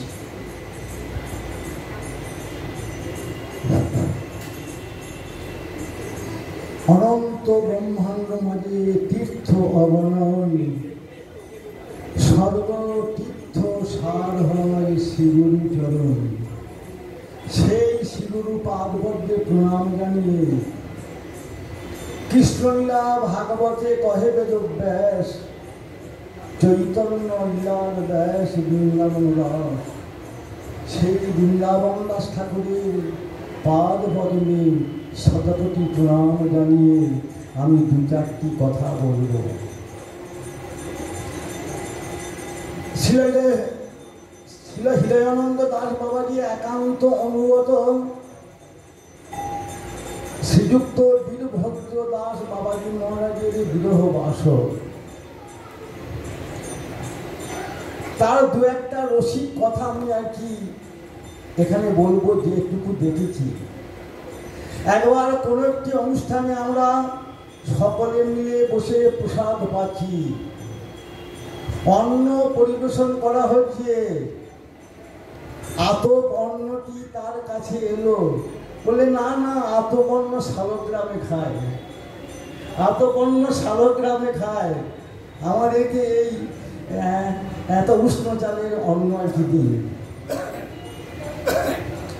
এই যে তার একটা রসিক ভাব এ কথা শত মুখে বলেও কিন্তু বোঝা যায় না। সে বাবুজি মহারাজ বলতেন, গৌরলীলা তিকার সত্য, তার গণের খেলা তেমনি নিত্য। কোথায় যাবে তার শিগুরু পাদপদ্মকে ভুলে শিবাদ বাবাজি মহারাজকে ভুলে, শ্রী শ্রী বড় বাবাজি মহারাজকে ভুলে কোথায় যাবে সে এইখানে আছে। আজও সে শ্রীগুরুদেবের আনুগত্যে তার ইষ্টদেবের তার সে সেবা করছে, যাদের জ্ঞান চক্ষু আছে, তারাই কিন্তু সেই লীলাকে দর্শন করছে। তাই কবির কথায় আমি এইটুকু বলতে চাই, এই জীবনের শেষ দিনে এইটুকু শুধু বলে যেতে চাই যা দেখেছি, যা শুনেছি, তার তো তুলনা নাই। জয় নিতাই, জয় গরু, জয় ঠাকুর বারবার উঠে আসছে শ্রদ্ধেয় বীরভদ্র বাবাজি মহারাজের যে রসিক বীরভদ্র বাবাজি, রসিক বাবলুদা, তার বিভিন্ন প্রসঙ্গ। প্রভাতগণ বলছেন। এবারে শ্রীপাঠ খড়দহ থেকে এসেছেন। প্রভুবাদ মানস মোহন গোস্বামী। তিনি আজকের প্রাসঙ্গিক বক্তব্য অতি সংক্ষেপে ব্যক্ত করবেন। জয় নিতাই জয় গৌর, জয় জয় শ্রীদাস अखण्डमण्डलाकारं व्यक्तं येन चराचरं तत्पदां दूषितां येन तस्मै श्रीगुरवे नमः। अवनितानन्दनमस्तुभं प्रेमानन्दप्रदायिने कलौ कल्मशनाश्रयो जन्मवापदै नमो नमः। नमस्त्रिकालसत्ताय जगन्नाथसुताय च सवित्राय सपुत्राय सकलत्रयते नमो नमः नमवञ्चाकल्पतरुभ्यश्च कृपा सिन्धुभ्यम् एव च পতিদানন্দপাবনেভ্য বৈষ্ণবেভ্য নমো নমঃ প্রথমই আমাদের নিত্যানন্দ অংশ শতাংশ আমার থেকে অনেক বয়োজ্যেষ্ঠ প্রভুপাত বীরচাঁদ গোস্বামী মহাশয় আছে। তার চরণে আমি আমার ভুলর্পিত প্রণাম জানাই। তারপরে মঞ্চে যারা আছেন, সবাইকেই আমি আমার ভুলণ্ডিত প্রণাম এবং আজকে যারা শ্রোতা মণ্ডলী আছেন বিরক্ত বৈষ্ণব আছেন সবাইকার চরণেই আমি আমার ভক্তিপূর্ণ প্রণাম জানাই। সময় বেশি নেই তবে আজকে বীরভদ্র দাস বাবাজি অর্থাৎ বাবলু দাস বীরভদ্র দাস বাবাজি বলে কেমন একটু দূর দূর মনে হয় কিন্তু আমাদের এই গোস্বামী সন্তানদের সঙ্গে রাধারমন গণের একটা আত্মিক মিলন, একেবারে বন্ধুত্বপূর্ণ সম্পর্ক দাদা ভাইয়ের সম্পর্ক কারও কারোর সঙ্গে স্বাভাবিকভাবেই আমি বাবলুদা বলে বলছি, আমাকে ক্ষমা করে দেবেন। আমার ওই বীরভদ্র দাস বাবাজি বললে মনে হয় অনেকটা দূর দূর হয়ে যায়, পর পর। বহুদিন আগে রথে আমি একবার গেছি। অনেকবারই জগন্নাথ দেবের কৃপায় রথ দর্শন হয়েছে। তো একবার গেছি। তখন বাবলুদার যিনি গুরুদেব, কালিয়াদা, তিনি কীর্তন নিয়ে যাচ্ছেন। কোথায়? গন্ডিচা বাড়ি গন্ডিচা মার্জন করতে। তা কালিয়াদা দুজনকে ধরে ধরে খুব অসুস্থ। ধরে ধরে গিয়ে একটি গাছতলায় একটা গোল তখন সিমেন্ট দিয়ে বাঁধানো ছিল। সেইখানটা দুটো হাত দিয়ে ধরে দাঁড়িয়ে আছেন মানে ওনার একটু তো শ্বাসের কষ্ট ছিল। তা আমি কালিয়াদা অনেকটা দূরে আমাকে দেখে, জয় নিতা জয় নিতা এরকম হাত করছে। অনেক লোক আছে, আমি তো বুঝতে পারিনি যে আমায় ডাকছে। আমি কালিয়াদার কাছে গেলাম হাত জোর বললাম দাদা গো, কেমন আছো? তো বলল ওই আছি। জগন্নাথ দেব রেখে দিয়েছেন, এবারে তো টানালেন, আগামী দিনে কি হবে তা জানি না। তার পেছনেই, তার আগেতে বাবলুদা আসছে কীর্তনটা নিয়ে গন্ডিসা মার্জনে এবার কালিয়াদা যাচ্ছে। বলল, আমাকে তখন বলছে, প্রভু, আমি তোমার হাতটা ধরে এবার কীর্তনের তলে যাই। আমি বললাম বেশ, তা কীর্তন করতে করতে গন্ডিসা বাড়িতে ঢুকলাম। তো বাবলুদা আমাকে বললেন, বাবা, প্রভু, এবারে রথে এসছেন? আমি বললাম হ্যাঁ। বলল, কবে এসছেন? আমি বললাম, ওই উড়িয়া গৌরীয় মিলনের দিন, সকালবেলা আমি পৌঁছেছি। বলল, বেশ বেশ বেশ, খুব ভালো। এইবার সব কীর্তনের দলের সঙ্গে রাধারমণগণ ঢুকছেন তার সঙ্গে সঙ্গে আমিও ঢুকলাম, বেশ আনন্দ তো হলো। এ বলছে, চলুন, এবার যাই সবাই ইন্দ্রদুম্নে স্নান করব। আমি আমি সিঁড়িতে দাঁড়িয়ে আছি, আমার পেছনে বাবলুদা। সেই হলুদের ডেলা এতখানি ছুটলো আমার এখানটা গিয়ে লাগল। কীরকম কে ছুটলো বলল, প্রভু লাগেনি তো, আমি আদর করেছি। এই হচ্ছে বাবলুদা। সত্যিকারের যদি ভক্ত কেউ হয়, তার মধ্যে একটা আলাদা রস থাকে।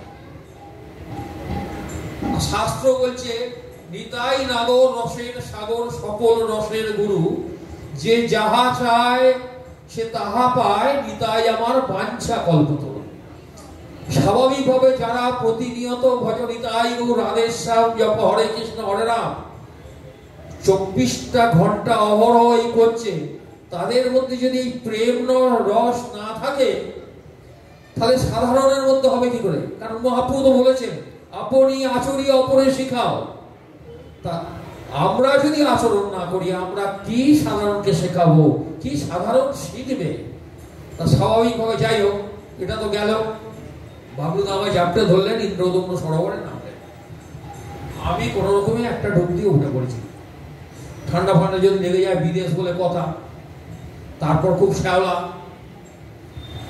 তো সবাই সাঁতার টাতার কাটছে আমি উঠে মোটামুটি নিজের মতো চলে এলাম। এবার আমার বাড়িতে গুরু নির্যাত তিথি আমি কি করব? আমি কয়েকবার জীবশরণ দাস বাবাজি মহাশয়কে বলেছিলাম যে, একটু এসে নিত্যানন্দ মহিমা গাইবেন। তো উনি এক বছর আসতে পেরেছিলেন, তার বছর তারপর থেকে আর আসতে পারেনি। তা আমি দেখলাম বর্তমানে এই ঘুষিপাড়া আশ্রমের যিনি মহত্ব পাড়ায় তিনি একরকম খর্দাতেই থাকতেন। তিরিশ দিনের মধ্যে পঁচিশ দিন। আনন্দপাল দাস বাবাজি একেবারে আমাদের অন্তরঙ্গ জিনিস, যার ডাক নাম হচ্ছে আশিস। এখানকার মহন্ত মহারাজ, যার বিশাশ্রয় নাম হচ্ছে আনন্দ গোপাল দাস বাবাজি তা আমি একদিন খেয়াল গেলাম, আমি চলে এলাম, এসে বললাম যে, দেখো ভাই, তোমার কাছে এসছে এসছি, একটা উপকার করতে হবে। বলছে, দাদা, কি উপকার বলো? আমার বাড়িতে গরু নির্যান তিথি আমি যতটুকু পারি করি। তোমাকে একটু যেতে হবে। দিয়ে একটু নিত্যানন্দ মহিমাটা গাইতে হবে। বলল, তুই বাবলু দাকেও বলে যা। আমি বাবলু দাকে পাবো কোথায়? বলল, নিচের ঘরে আছে। আমি বললাম, দরজা তো দেওয়া বলল, দরজাটা ঠেলো। বাবলু দা তো অসুস্থ? আমি ঠিক আছে। তাই এখানে মহন্ত মহারাজ একটু আমাকে চা দিল। বলল চা সেবা করো, প্রভু। আমার একটু কিন্তু কিন্তু লাগছে। কারণ সে আমাদের থেকে অনেক বয়সে ছোট, খড়দাতে থাকতো, সবটাই ঠিক আছে, কিন্তু যত যাই হোক, এখন তো মহন্ত হয়ে গেছে। তো যাই হোক বলে ইতস্তত করো না, কিন্তু বোধ নেই। চা সেবা করো। চাটা পেলাম, হাত ধুলাম, তারপরে একজনকে বললেন, প্রভুকে প্রসাদ এনে দাও। প্রসাদ পেলাম ওই ঘরে বসে, বাল্য প্রসাদ। তারপর দিয়ে কথা টথা বলে, এই বর্তমান যিনি এখানকার মহন্ত আনন্দ গোপাল দাস বাবাজি মানে আসিস আমাকে নিয়ে সিঁড়ি দিয়ে নেবে, ঠিক এই সোজাসুজি একটি ঘরে বাবুদা আছে দিয়ে বলো বাবুদা খড়দা থেকে প্রভু এসছে, কি বলছে দেখো? বাবুদা দেখেই বলছে, বাবা, এ তো ডুমুরের ফুল। আমি কি লটারির টিকিট কাটবো? বলছে, না, লটারি কেটে লাভ নেই, তার থেকে আমি নিতাই নিতাই করি। এই হচ্ছে বাবলুদা। দিয়ে বলল, বলো, প্রভু, কি ব্যাপার? না হলো এরা এরকম ব্যাপার যেতে হবে। গেছে, একটি টাটা সুমো নিয়ে আশিস সবাইকে নিয়ে গেছে। এখান থেকে মাধবও গেছে। কীর্তন হয়ে যাওয়ার পর আমি ওপরের ঘরে নিয়ে গিয়ে বাবুদাকে সেবা করাচ্ছি, সবাইকে সেবা দিচ্ছি, যতটুকু হয়েছে। মিষ্টি মিষ্টি দিতে যাচ্ছি প্রভু মিষ্টি মিষ্টি দিও না। পারলে গরম কচুরি আরও দুখানা পারলে দাও। তা আমি চার খানা দিচ্ছি বাবুদাকে বুঝলেন এদিকে আশিস বলছে, বাবলুদা, এত সেবা করো না। চুপ কর চুপ কর। কচুরি খেলে কিছু হবে না। হ্যাঁ? এই হচ্ছে বাবলুদা। এবার নিচে নামার পর যখন সবাই জুতো পড়ছে চলে আসবে আশ্রমে ফিরে আসবে, এটা তো বলার কথা নাই বলছি কিরম রসিক। বলছে, প্রভু, আমার এই ছেঁড়া চপ্পলটি লুকিয়ে রেখে দিয়েছ? কিন্তু একজন ভুল করে হয়তো পড়ে গেছে, তারই মতো জুতো দেখতে। সে কি গো বাবলুদা? কি বলছো? আমার খালি মনে হচ্ছে সাধু অপরাধ হয়ে গেল। কারণ আমার বাড়িতে এসছে কীর্তন করতে, তার জুতোটা কে নিয়ে পড়ে চলে গেল? আমার তো সাধু অপরাধ হয়ে গেল। কারণ বৈষ্ণব অপরাধ সাধু অপরাধ ভয়ঙ্কর অপরাধ। হায় বাবুদা খোঁজাখুঁজি করলাম কোথাও পেলাম না গোটা বাড়িতে লাইট খুঁজে পাওয়া যাচ্ছে না। বলছে যা প্রভু থাক ওটা। ওটা থাকলে বাবলুদার কথা মনে পড়বে। আর তুমি সুগারের রুগী খালি পাওয়া যাবে এটা তো হয় না। একটু সংক্ষেপে। আমি তখন বললাম কি? বাবলুদাকে তিনশোটি টাকা আমি আমার ট্যাগ থেকে বার করে হাতে বুঝিয়ে দিচ্ছি। সে বলছে প্রভু তোমার তো আসপদ্দা কম বললাম, কেন? তুমি আমার টাকা দিচ্ছ কেন? বাবুদা যাওয়ার পথে আমি আশিসকে বলে দিচ্ছি নেবে একটা জুতো পরে দাও যাও দাদা। কারণ তুমি সুগারের রুগী পায়ে যদি কিছু ফুটে যায় বাই চান্স ইনফেকশন হয়ে যাবে। আমি অন্যভাবে দিই এই জন্য দিচ্ছি না তোমাকে আমার জুতোর কথা চিন্তা করতে তুমি ভালো করে উৎসব করো। সে নেবে না কিছুতে। তারপর লাস্টে আশিসকে জোর করে আমি গেলাম। আশিস কোথাও গাড়ি থামিয়ে জুতোর দোকান থেকে বাবলুদাকে একটা জুতো কিনিয়ে আসতে হবে। এই হচ্ছে আমাদের বাবলুদা তবে হ্যাঁ একটা কথা ওই বাবাজি মশার কথা বলতে হয়। সবাই সব জায়গায় আছে, কেউ কোথাও যায়নি। তা দাদা মশাইয়ের শুধু করুণা নয়, বাবাজি মশাইয়ের যদি কৃপা হয়, আবার বাবলুদাকে আমাদের কাছে ঘুরে আসতে হবে। এইটুকু বলে আর আমাদেরও কাজ হবে, আমরা নিতাই চাঁদের চরণে সবসময় প্রার্থনা করব। সেই যে বাবলুদাকে আমাদের কাছ থেকে তুমি নিয়ে নিয়েছো, সেই বাবলুদাকে তুমি পুনরায় প্রভু আমাদের কাছে ফিরিয়ে দাও, যাতে আমরা তার কণ্ঠ শুনে আমরা দুটো হাত ঊর্ধ্বে তুলে নৃত্য করতে পারি। নিতাই গৌর হরিবোল আমি আর বক্তব্য দীর্ঘায়িত করব না, এই বলে সবাই যারা আছেন এখানে, এবং আমার মঞ্চে যারা আছেন এবং আমার বঞ্চিষ্ট প্রভু, মির্জা প্রভু আজকের মঞ্চের সভাপতি। তার চরণে কোটি কোটি দণ্ডবাদ জানিয়ে এইখানেই শেষ করুন নিতাই গৌর জয় জয় আদেশ জয় নিতাই।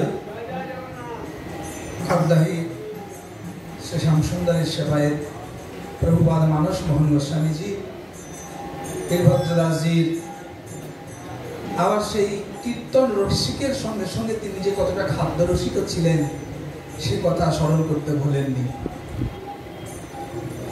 আজকে অনুষ্ঠানের অন্তিম লগ্নে আমরা এসে পৌঁছেছি। এবারে আমরা রাঘব পণ্ডিতের বংশাবতংশ শ্রীমান মহাপ্রভু যে রাঘবের দিয়ে ছিল বাঁধা। যিনি বলবেন, তিনি তো রাঘব পণ্ডিতের বংশাবতংশ ঘটেনি তার জ্যাঠা মহাশয় প্রভুপাদ নারায়ণ চন্দ্র গোস্বামী, তাকে আমি চোখে দেখিনি। কিন্তু তার প্রভু জগৎবন্ধু সুন্দরের শতবর্ষ স্মরণিকায় লেখা পড়েছি। কি ক্ষুরধার লেখনি তার। তারই সুযোগ্য ভ্রাতুষ্পুত্র রাঘব পণ্ডিত বংশাবতংশ প্রভুবাদ রাধা গোবিন্দ গোস্বামীজি আজকে প্রাসঙ্গিক বক্তব্য উপস্থাপিত করবেন। প্রভুপাদ রাধা গোবিন্দ গোস্বামীজি। যস্য প্রসাদ ভগবত প্রসাদ যস্য প্রসাদান্নপুতিভূত ধ্যায়স্তবন্তস্য সন্তান বন্দে গুরুশ্রী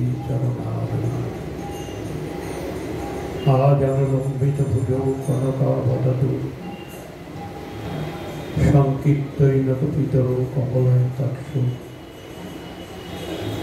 বিশ্বম্ভর দ্বিজবর যুগধর্ম পাল বন্দে জগৎপ্রিয়কর করুণা অবতার বাঞ্ছা কল্পতরুভস্য কৃপা সিন্ধু পতিতান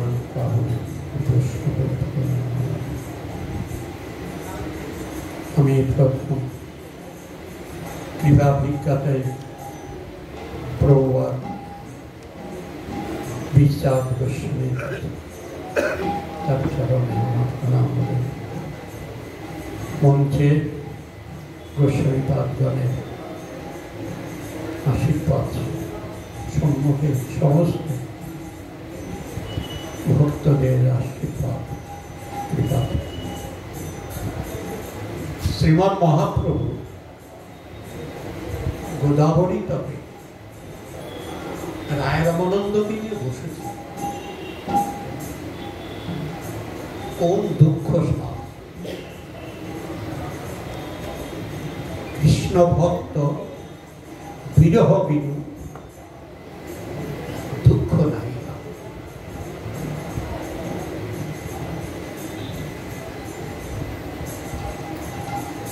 বৈষ্ণব দর্শনের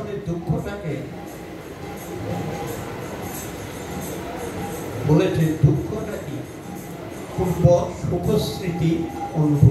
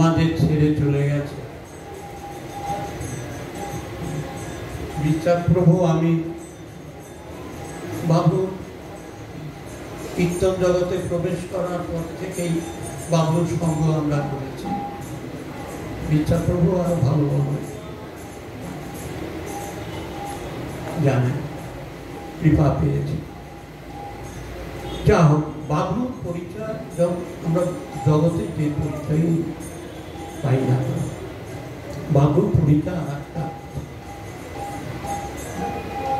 যেমন শ্রীমন মহাপ্রভুর আবির্ভাব পঞ্চতত্ত্ব বিশ্ব মানব সভ্যতার ইতিহাসে আশ্চর্যজনক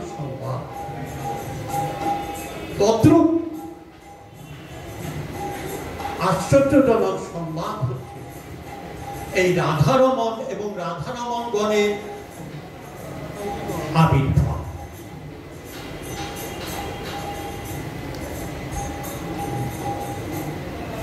এটাও যেমন আশ্চর্য, এটাও তদ্রুপ আশ্চর্য।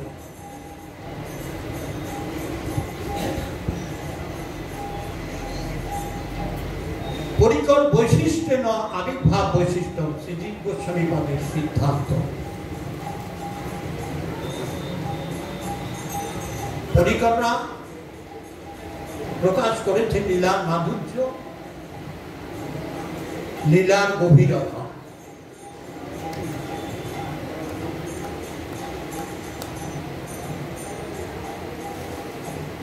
সংকীর্তন পিতরম মহাপ্রভুর এবং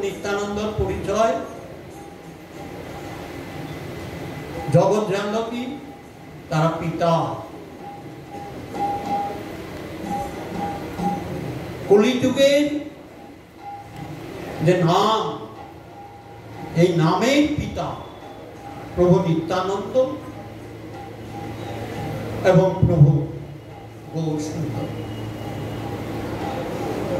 এই পিতা, এই দুজন পিতার আদর্শকে জগতে দাঁড়ে দাঁড়ে পৌঁছে দেওয়া। পরবর্তীকালে মহিমা প্রচার করে দেওয়া মহিমাকে প্রচার করে দেওয়া যে দান তারা করে গেছেন সেই দান পৌঁছে দেওয়া যিনি পরবর্তীকালে এসে ধরলেন তিনি রাধারমন। রাধারমন শক্তি সঞ্চারিত করে রামদাস বাবাজিকে টেনে নিলেন। শীতলদাস বাবাজিকে টেনে নিলেন। সখীমাকে টেনে নিলেন একটা শক্তি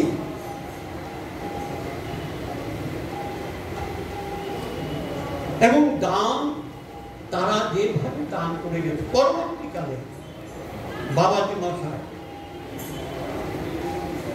যাদেরকে আনলেন কালিয়াদা, মদনদা, এরা তাদের শক্তি সঞ্চয় বাবলু সেই বংশের এক গাছ এবং ফলের সাথে সাদৃশ্য নেই। কথা ঠিক, কিন্তু একটা জায়গা মিল আছে। গাছটা যে আটির থেকে হয়েছে, আর ফলটার মধ্যে যে আটি বীজ এক। বীজ এক। এই সম্প্রদায় গভীরতাটা কোথায়? এখানে বসে আজকে কথা না বলে আমি বৈষ্ণবতা, গভীরতা, অতি গভীর অতি গভীর। এই শীতলদাস বাবাজি এক নাপিত শীতলদাস বাবাজি শীতল শতদলকর গুপ্তের মুখে আমাদের কথাটা শোনা শীতলদাস বাবাজিকে এক নাপিত পৌরকর্ম করছে তা সেই বাবাজিকে বলেছেন যে, আমি রামদাস বাবাজিরও পৌরকর্ম করেছি। বাবাজির শেষ হয়ে গেলে শীতলদাস বাবাজি ওই নাপিতকে প্রণাম করছে। তুমি রামদাকে স্পর্শ করেছ? তুমি আমার কাছে উচ্চ এই হলো বৈষ্ণবতা, এই সম্প্রদায়। এই হলো বৈষ্ণবতা। তুমি রামদাকে স্পর্শ করেছ? আহা! তোমার হাতে আমি আজকে আমার পৌরকর্ম করলাম। তোমাকে একটা প্রণাম। এই সেই ঘরে বাবলু বাবলুর কথা কত কত বলব? যাও, একটু দুটো ঘটনা সংক্ষেপে আমি বলছি। মালিক মদনদাকে বলে, হরিদাস সময় কীর্তন আমাদেরকে নিয়ে আমি বাবলু রসিকদা আর সুকুমার মজুমদার শান্তিদা তো একটা ভক্ত নিয়ে যে ট্রাভেলসের নিয়ে আমরা পুরীর উদ্দেশ্যে রওনা দিলাম।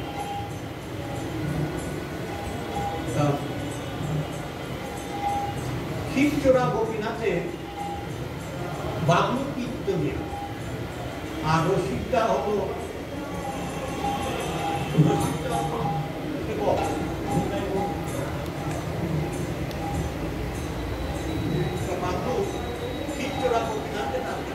রাত্রিতে সারা রাত্রি নাম বিশ্রাম, গম্ভীরাতে গিয়ে নাম বিশ্রাম হবে। বাবু কীর্তন করছে। খিচড়া গোপীনাথের মন্দিরে, গোপীনাথের সঙ্গে নাট মন্দিরে শতাধিক ঘুমিয়ে আছে। শতাধিক। আমিও খিচড়া গোপীনাথের মন্দিরে একটা ঘরে আমি ঘুরেছিলাম ভাবলো রাত্রিতে এত মধুর সুরে কীর্তন করছিল। আমার কাছ থেকে নিদ্রা দেখি পালাতে বাধ্য আমি এসে দেখি নাট মন্দিরে শতাধিক লোক ঘুমিয়ে আছে। নিদ্রা দেবী তাদেরকেও ছেড়ে চলে গেছে। তারা বসে হাতে তালি দিচ্ছে ভাবলুক প্রত্যেকের চোখে জল পড়ছে। প্রত্যেকের চোখে জল পড়ছে। হইল, প্রাণ নাচিল ধমনি।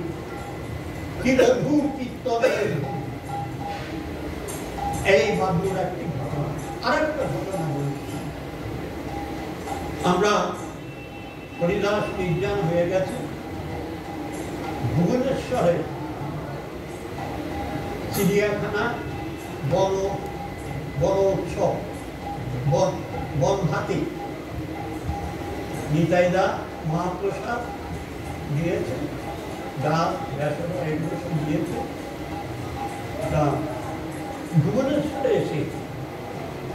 আমরা দুপুরে রসিকদা, নিতাই ওখানে ভোগ লাগিয়েছে।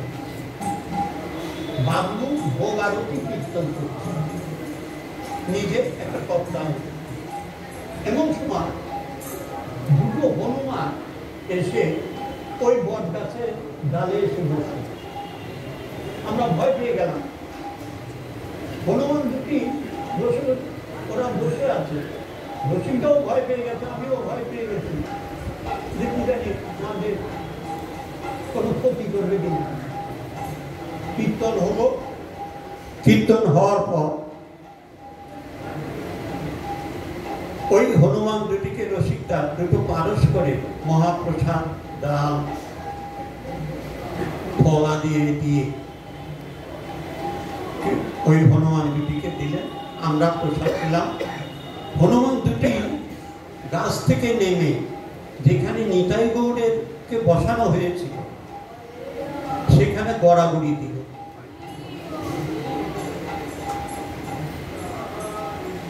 আমরা দাঁড়িয়ে গড়াগড়ি না। দেওয়ার পর ওরা দুজন বসে নিশ্চিন্তে কোনো উদ্বিগ্ন না নিয়ে প্রসাদ পেল প্রসাদ পেয়ে চলে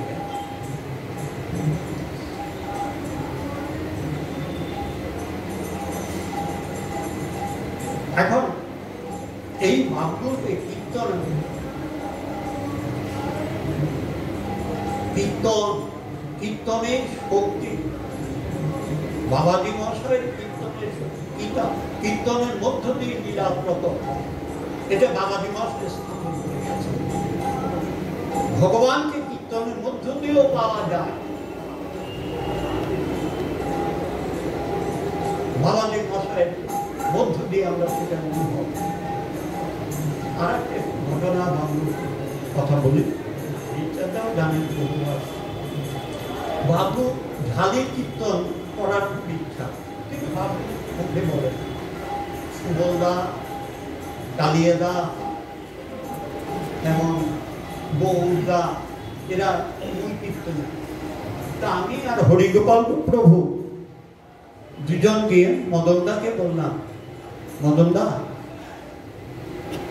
বাবলুকে ঝালি কীর্তনটা করানো যায় কি? মদনদা হাসলেন। দেখেন বৈষ্ণবতা কাকে বলে? হেসে, আমাকে আর হরিগোপাল প্রভুকে বললেন কথা শুনলাম। ঝালি আমি মাথায় নিয়েছি। কালিয়াদাকে ডেকে বললেন, মদনদা, তুমি ঝাঁসপিটা মঠের থেকে কীর্তন আরম্ভটা তুমি করবে, তুমি ধরবে। ধরে রাস্তায় বাবলুকে কীর্তন ছেড়ে দেবে। গম্ভীরাতে গিয়ে তোমার ডান বাঁ দিকে বাবলু বসবে তুমি বাবলুর ডান দিকে, তোমার ডান দিকে বাবা নিবাসের থাকবে বাবলু, এই ঝালির কীর্তন প্রথম গম্ভীরাতে মহাপ্রভু বাবাজি মহাশয় কথা কীর্তনের মধ্যে দিয়ে পুষ্পাঞ্জলি দিলেন। বাবলু দেখছি, কি আনন্দ কীর্তন করে এসে আমাকে আমার পা দুটি জড়িয়ে ধরলেন যে প্রভু আপনাদের কৃপা। অত বাবলুর কথা বহু আছে,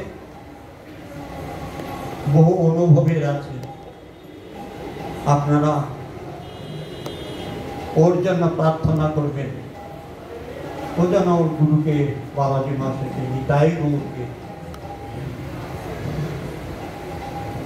এই কীর্তনের মাধ্যমে যেন তার অর ভজন নিবেদন করে থাকে।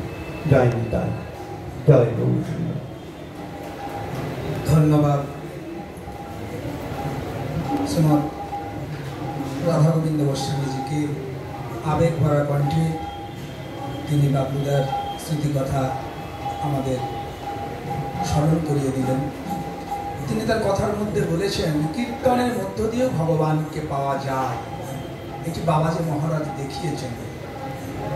বাবাজি মহারাজের জীবন সর্বস্ব প্রভু জগৎবন্ধু সুন্দর বলেছেন, কীর্তন ভিন্ন, অন্য কোনো ব্রত বা নিয়ম করিও না। তাই সেই ধারাম পরম্পরায় সদ্য বীরভদ্র দাস বাবাজি বা বাবলুদার জীবনের ব্রতটাই ছিল কীর্তন। আজকে তার স্মরণ সভার আমরা একদম অন্তিম লগ্নে এসে পৌঁছেছি। মহানাম সম্প্রদায়ের সম্পাদক শ্রীমৎ বন্ধুগৌর ব্রহ্মচারী মহারাজ, তিনি শারীরিকভাবে অসুস্থতার কারণে আজকে সভায় উপস্থিত হতে পারেননি, কিন্তু তিনি মানসিকভাবে আমাদের এই সবার সঙ্গে আছেন। আপনারা সকলেই জানেন বাবাজি মহারাজ, তার জীবন সর্বস্ব প্রভু জগৎ বন্ধু, সেই ধারা পরম্পরার সঙ্গেই রাধারমন গণ এবং মহানাম সম্প্রদায়ের অঙ্গাঙ্গীন সম্বন্ধ, সেই সম্বন্ধকে স্বীকার করে শ্রদ্ধেয় বাপুদা তিনি তার ভজন জীবনকে অতিবাহিত করেছেন। তার জীবনের অন্তিম লগ্নে এই আশ্রমের নাট মন্দিরে বন্ধু সুন্দরের অনেক রচনা তিনি কীর্তন করেছেন। ইউটিউবে তা আপনারা শুনতে পারবেন। যাই হোক, সম্প্রদায়ের পক্ষ থেকে এবং শ্রীমৎ বন্ধুগৌরা ব্রহ্মচারী মহারাজের পক্ষ থেকে তার শ্রীচরণে প্রণাম, শ্রদ্ধা জানানো হচ্ছে। এবারে অনুষ্ঠানের একদম অন্তিম লগ্নে এবার সভাপতির ভাষণ। এতক্ষণ কষ্ট করে বসে আছেন। সভাপতি হওয়া বড় কষ্টের এই জন্য সকলে সভাপতি হতে চায় না। তো পরম পূজ্যপাত জগৎগুরু নিত্যানন্দ বংশাবতংশ আমাদের সমগ্র গৌরীয় পরিমণ্ডলের অভিভাবক স্বরূপ যিনি বাবাজি মহারাজকে দর্শন করেছেন এবং আজ পর্যন্ত বাবাজি মহারাজের দুটো পিড়ি। ধারা পরম্পরায় যারা আছেন তাদেরকেও তিনি দেখছেন। তাদের অভিভাবক হয়ে, আমাদের সবার অভিভাবক হয়ে, সবার মাথার মুকুটমণি হয়ে তিনি বিরাজ করছেন। আজকের অন্তিম লগ্নে তার কাছ থেকেই আজকের প্রাসঙ্গিক বক্তৃতা তথা সভাপতির ভাষণ আমরা শ্রবণ করব। পরম পূজ্যপাদ শ্রীমৎ বিচ্চার গোস্বামী মহারাজ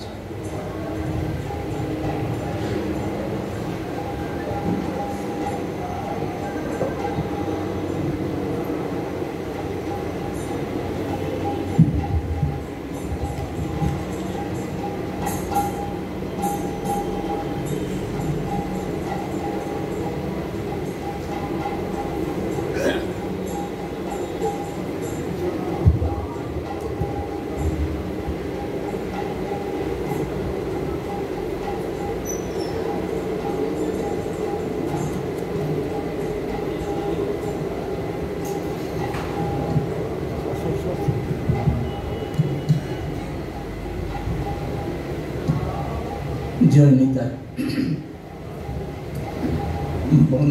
বন্দে অহম শ্রীগুরু শ্রীযুতপদকমলং শ্রীগুরুং বৈষ্ণবাংশ্চ শ্রীরূপাং সাগ্রজাতং সহগণ রঘুনাথং নিতাং তাং সজীবং সাদ্বৈতং সাবধূতং। হরিজনসহিতং কৃষ্ণচৈতন্যদেবং শ্রীরাধা কৃষ্ণপাদাং সহগণরূপাং শ্রীবিশাখাংশ্চ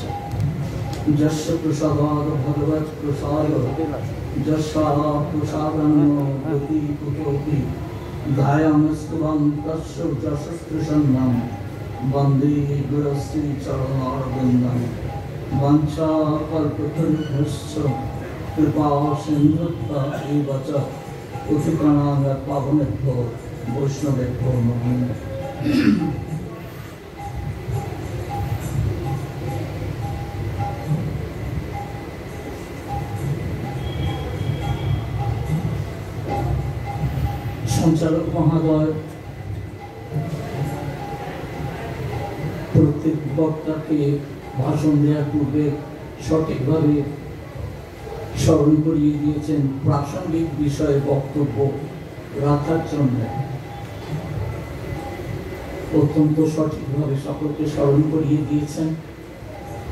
আমিও চেষ্টা করব আমার বক্তব্য প্রাসঙ্গিক বিষয়ে রাখতে।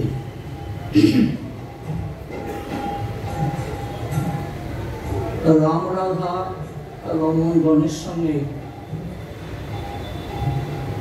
আমাদের প্রায় তিন পুরুষের সম্পর্ক। বড়বাজ মহারাজ শ্রী রাধা রমন এবং আমার প্রপিতামহ নিত্যানন্দ পুররত্ন প্রভাত চন্দ্র গোস্বামী এবং আমার পিতামহ প্রতাপ চন্দ্র গোস্বামী।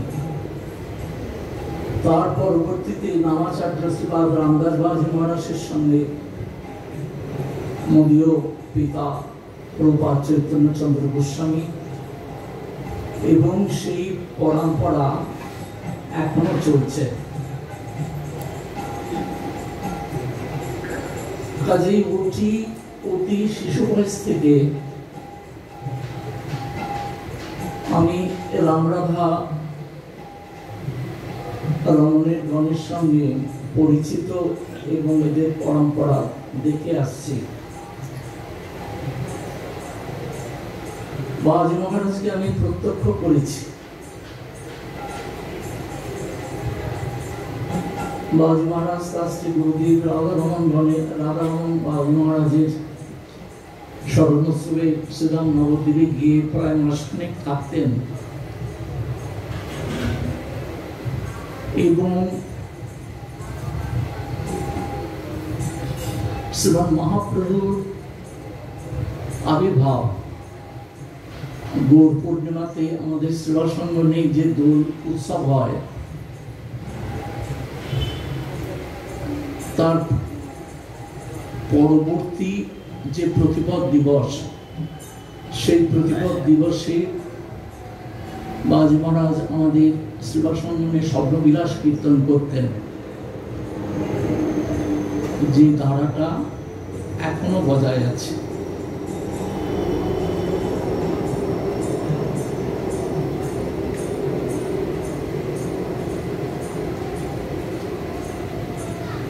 আমার যখন দশ বছর বয়স বাজি মহারাজ তখন অপ্রকট হন। আমার তেরোশো পঞ্চাশ সালে জন্ম। বাজ মহারাজ অপ্রকট হন তেরোশো ষাট বাংলা সন কাজে দশ বছর মধ্যে যে বছর আমার জ্ঞান হয়েছিল বা কিছু কিছু বুঝতে পারতাম, তখন থেকে বাজ মহারাজকে দেখেছি।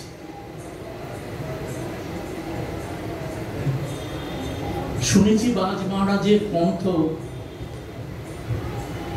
কোকিল কণ্ঠী ছিলেন। অসাধারণ মিষ্টি গলা এবং তেমনি উচ্চগ্রামের গলা। কিন্তু সেই বাজ মহারাজের কীর্তনটা আমার কিন্তু স্মরণে নেই। যেটা স্মরণে আছে, সেটা হচ্ছে কীর্তন করতে করতে দাঁড় যা স্বরূপটা আমি আমার নিজের চোখে দেখেছি, সেটা আমার হৃদয় পথে সযত্নে সঞ্চিত আছে। শ্রীমদ ভাগবতী জাত প্রেমা সাধুর যে লক্ষণ বর্ণনা করা আছে, যেমন ধরুন এবং ব্রত সক্রিয় নাম কীর্তা, জাতানুরাগ দ্রুত চিত্ত উচ্চয়ী হসতি ইয়ত রৌদিতি রৌতি গায়তে উন্মাদগত নৃত্যতি লোকরাজ্য জাতপ্রেমা ব্যক্তি তার সক্রিয় কীর্তন করতে করতে কখনো কিসে ওঠেন কখনো কাঁদেন, কখনো পাগলের মতন হুঙ্কার দিয়ে ওঠেন, কখনো নৃত্য করেন।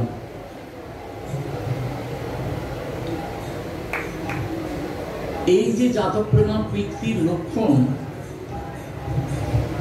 আমার স্পষ্ট মনে আছে, তার প্রকৃষ্ট উদাহরণ হচ্ছে শ্রীবাদ বাজে মহারাজ।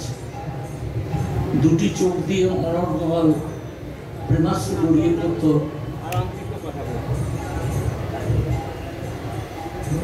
পেছনে যে সমস্ত সেবক থাকতেন, দুদিকে দুজনের সেবক, দুটি গামছা দিয়ে বাগাজে মহারাজের অনবরত চোখ বুঝাচ্ছেন চোখের জলে ভিজে যাচ্ছে না দুটি গামছা প্রায় ভিজে যেত।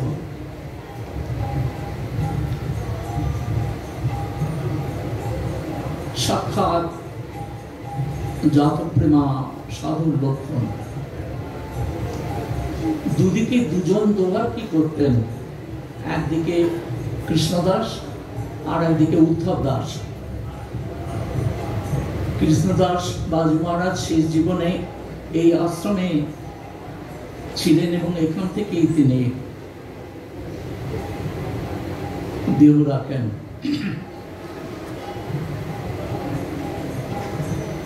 বাজি মহারাজের এই সম্প্রদায়ের এবং সেই সম্প্রদায়ের মধ্যে যে কীর্তন মণ্ডলী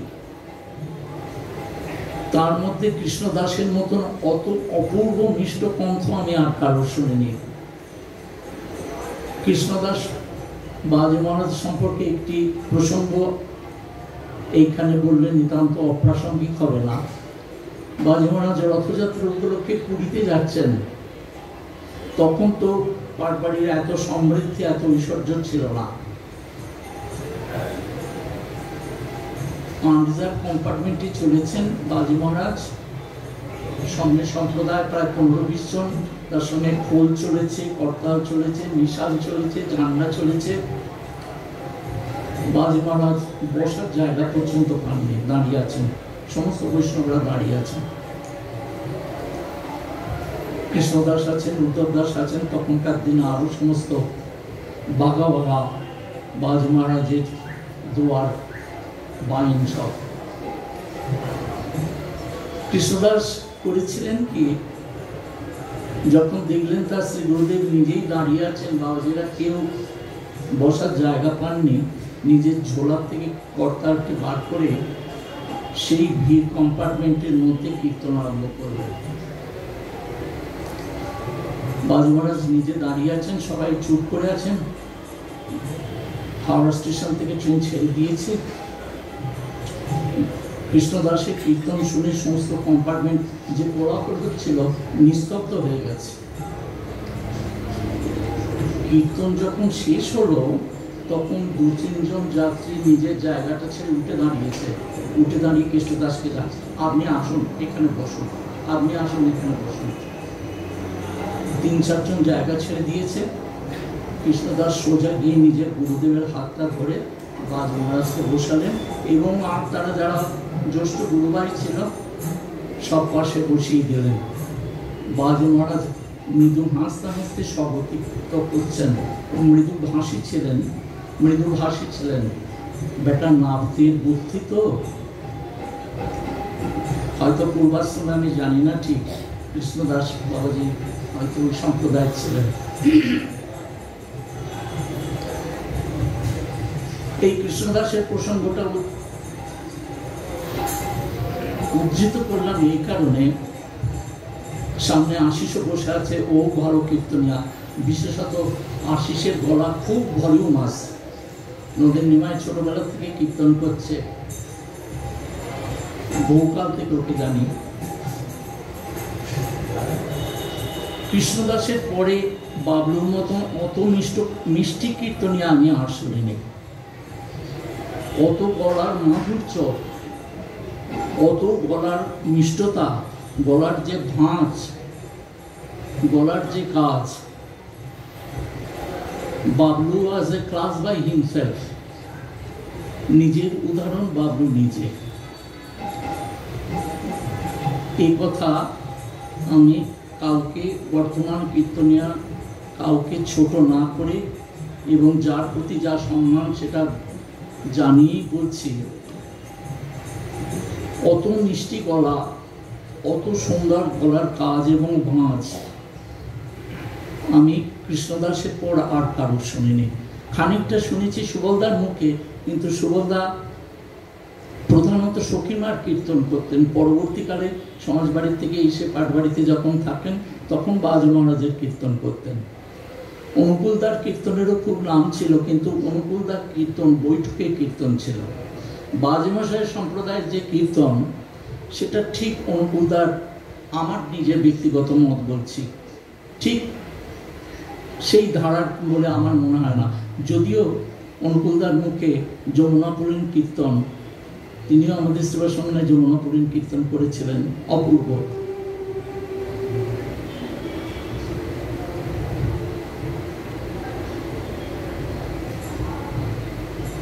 বাবলু তো চলে গেছে। তবু কীর্তন আছেন, কীর্তন থাকবেন। যতদিন আশিসদের মতন পরবর্তী কীর্তনীয়রা আছেন বা তারপরে আরও আসবেন নিশ্চয়ই। কিন্তু যে জায়গাটা খালি হয়ে যায় সেই জায়গাটা পূরণ করা বড় মুশকিল, হয় না।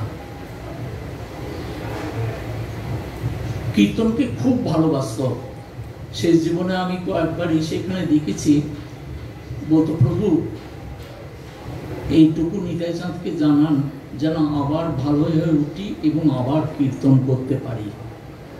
ওই একটাই তার বাসনা ছিল, এতই ভালোবাসত কীর্তনকে এবং প্রাণ দিয়ে কীর্তন করত এবং কীর্তন ভালোবাসত। সেই জীবনটা বাবলু খুব কষ্ট পেল এই প্রসঙ্গে। আমি সহস্র মুখে আশিসের প্রশংসা করব, যদিও সে সামনে বসে আছে, তার সামনে বলা উচিত না। তবু আর বলার সুযোগ পাবো না। আশিস পাটবাড়ি থেকে বাবলুকে তুলে নিয়ে এসে এখানে যে সেবা করেছে, তার পেছনে যে অর্থ ব্যয় করেছে, তার গুরু ভাইয়ের প্রতি, সেটা সহস্রমুখে প্রশংসা করলেও সেটা যথেষ্ট বলে আমি মনে করি না। এটা আমি সহস্রমুখে সকলের কাছে বলব। আশিসের এই সাহায্যের এই বড় গুরু গুরু ভ্রাতার সেবা করার কোনো তুলনা হয় না। বিশেষত আশিসের দুর্বলতা বাবলু নিজে কীর্তনিয়া বলে, শিশু কীর্তনিয়া।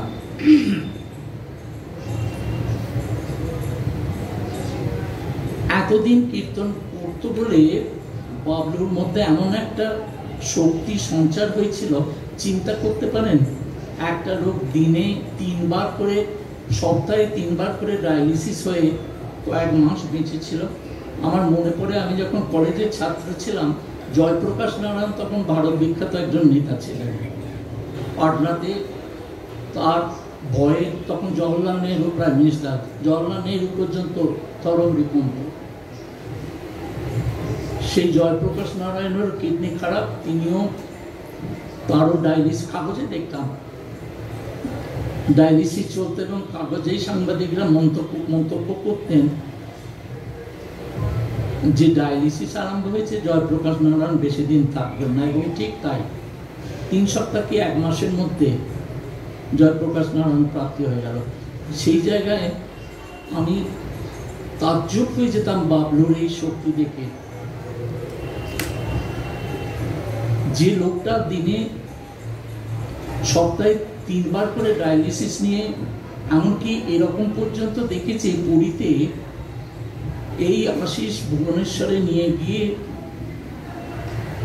বাবলু ডায়ালিসিস করে নিয়ে এসছে, এসে গম্ভীর হাতে ঝাড়ি কীর্তন করতে বসেছে। কি প্রচণ্ড আগ্রহ, আকুতি, শক্তি। নামের যে শক্তি, মহাপ্রভু স্বয়ং নামী তার শিক্ষাষ্টকে বলেছেন, নাম না মকারি বহুদা নিজ সর্বশক্তি স্তত্তার পিতা।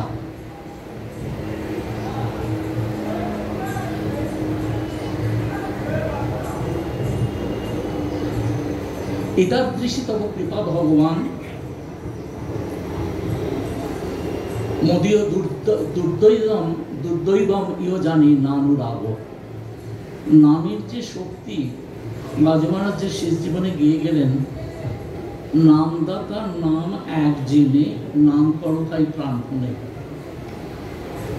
বাবলু নামদাতা সারা জীবন কীর্তন করেছেন এবং যে কীর্তন করছে তার স্বয়ং নাম। স্বয়ং নামে শ্রীমান মহাপ্রভু বলেছেন,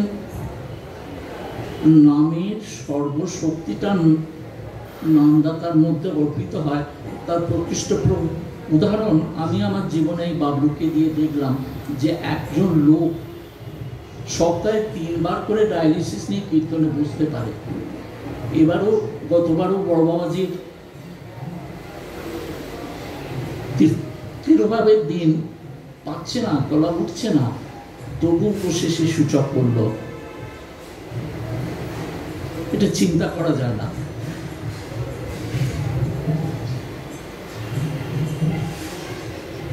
আর কীর্তনের আহ্বান পেলেই সানন্দে রাজে। আমার কলকাতার মন্দিরে সোনার গৌরাঙ্গ মন্দিরে যে বার্ষিক উৎসব, বাবলু গিয়ে প্রত্যেকবার অভিষেক করে, দ্বাদশীর দিন হয়, নিত্যান্ত মহিমা এবং অন্য কোনো কেউ করে। গতবার বাবলুকে সঙ্গে নিয়ে গেছিল, বাবলু অধিবাস করল। ওই শারীরিক অবস্থা। আশিস বলছে যে, প্রভু, ওইখানে আসতে আনন্দ পাই তো ওকে নিয়ে এলাম। খুব ভালো করেছে। এবং ওই অসুস্থ অবস্থায় সে অধিবাস কীর্তন করল। তাই মহাপ্রভুর মুখের যে শ্রীবাণী, নামের যে শক্তি, নামই নামদাতাকে অর্পণ করে বাধ্যতার একটা উদাহরণ। এবং সত্যি কথা বলতে কি,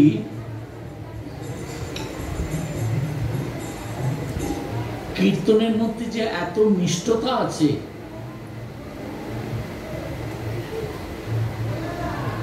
কীর্তনের যে এত আকর্ষণী শক্তি আছে বাবলুর কীর্তন, যেন তার প্রত্যক্ষ প্রমাণ। অন্তত আমি আমার কথা বলতে পারি, যেন চুম্বকের মতন আকর্ষণ করত। শাস্ত্রেই পড়েছি, যেমন রূপগোস্বামী পাদ, বিদগ্ধ মাধব নাটকে দেবী পৌর্ণমাসীর মুখে বলাচ্ছেন, কৃষ্ণ নামের কি মিষ্টতা দেবী পৌর্ণমাসী নামদেবীকে বলছেন, তুণ্ডে তাণ্ডবিনী রতিং বিতনুতে তুণ্ডাবলী লব্ধয় কর্ণ ক্রোর করম্বিনী ঘটাতে কর্ণাব্য দেব্য স্পৃহাম। চেত সঙ্গিনী বিজয়তে সর্বান সর্বেন্দ্রিয়ানাং কৃতিম। নো জানি জনিতা কিয়ৎপি অমৃত কৃষ্ণীতি নামাক্ষরণ দেবী পূর্ণমাসী নান্দিনীকে বলছেন, দেখ নাম নান্দি এই যে কৃষ্ণ দুটি শব্দ, কৃষ্ণ দুটি শব্দ দ্বারা গঠিত যে কৃষ্ণ নাম, এত মিষ্টি এত মিষ্টি। নন্দিনীকে বলছেন, কীরকম দেবী?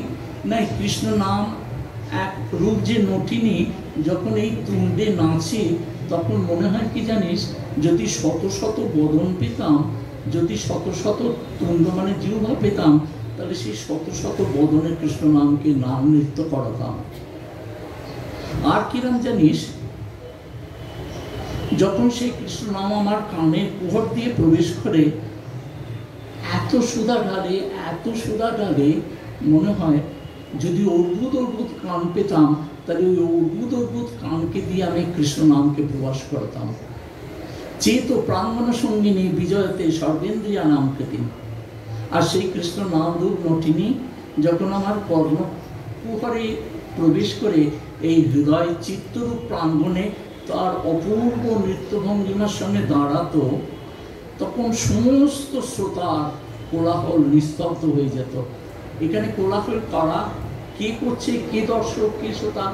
কাম ক্রোধ লোভ মোহ মদ মাৎসর্য এই যে স্বর, ইন্দ্রিয়র যে কোলাহল, সমস্ত নিস্তব্ধ হয়ে যেত, সকলের ক্রীড়া বন্ধ হয়ে যেত, যখন সেই কৃষ্ণ নাম রূপ নটিনী তার নিত্য ভঙ্গিমার সঙ্গে আমার এই চিত্তে যখন অপূর্ব নিত্য ভঙ্গিমার সঙ্গে আবির্ভূত, নো জানে জনিতা কিয়দ্ভি অমৃত এই কৃষ্ণের দিন। আমি জানি না কত কত নিষ্ঠতা দিয়ে এই কৃষ্ণ নাম তৈরি হয়েছে। সত্যি সত্যি বাবলুর কীর্তনে মনে পড়ে শাস্ত্র বাণিজ্যিক কত শাশ্বত, কত চিরন্তন, কত সত্য, এই এক একটা প্রমাণ শাস্ত্র রেখে যান। বাবলুর কীর্তন সত্যি সত্যি এত নিষ্ঠ ছিল। এত তার আকর্ষণী শক্তি ছিল যে সেটা বলার কথা নয়।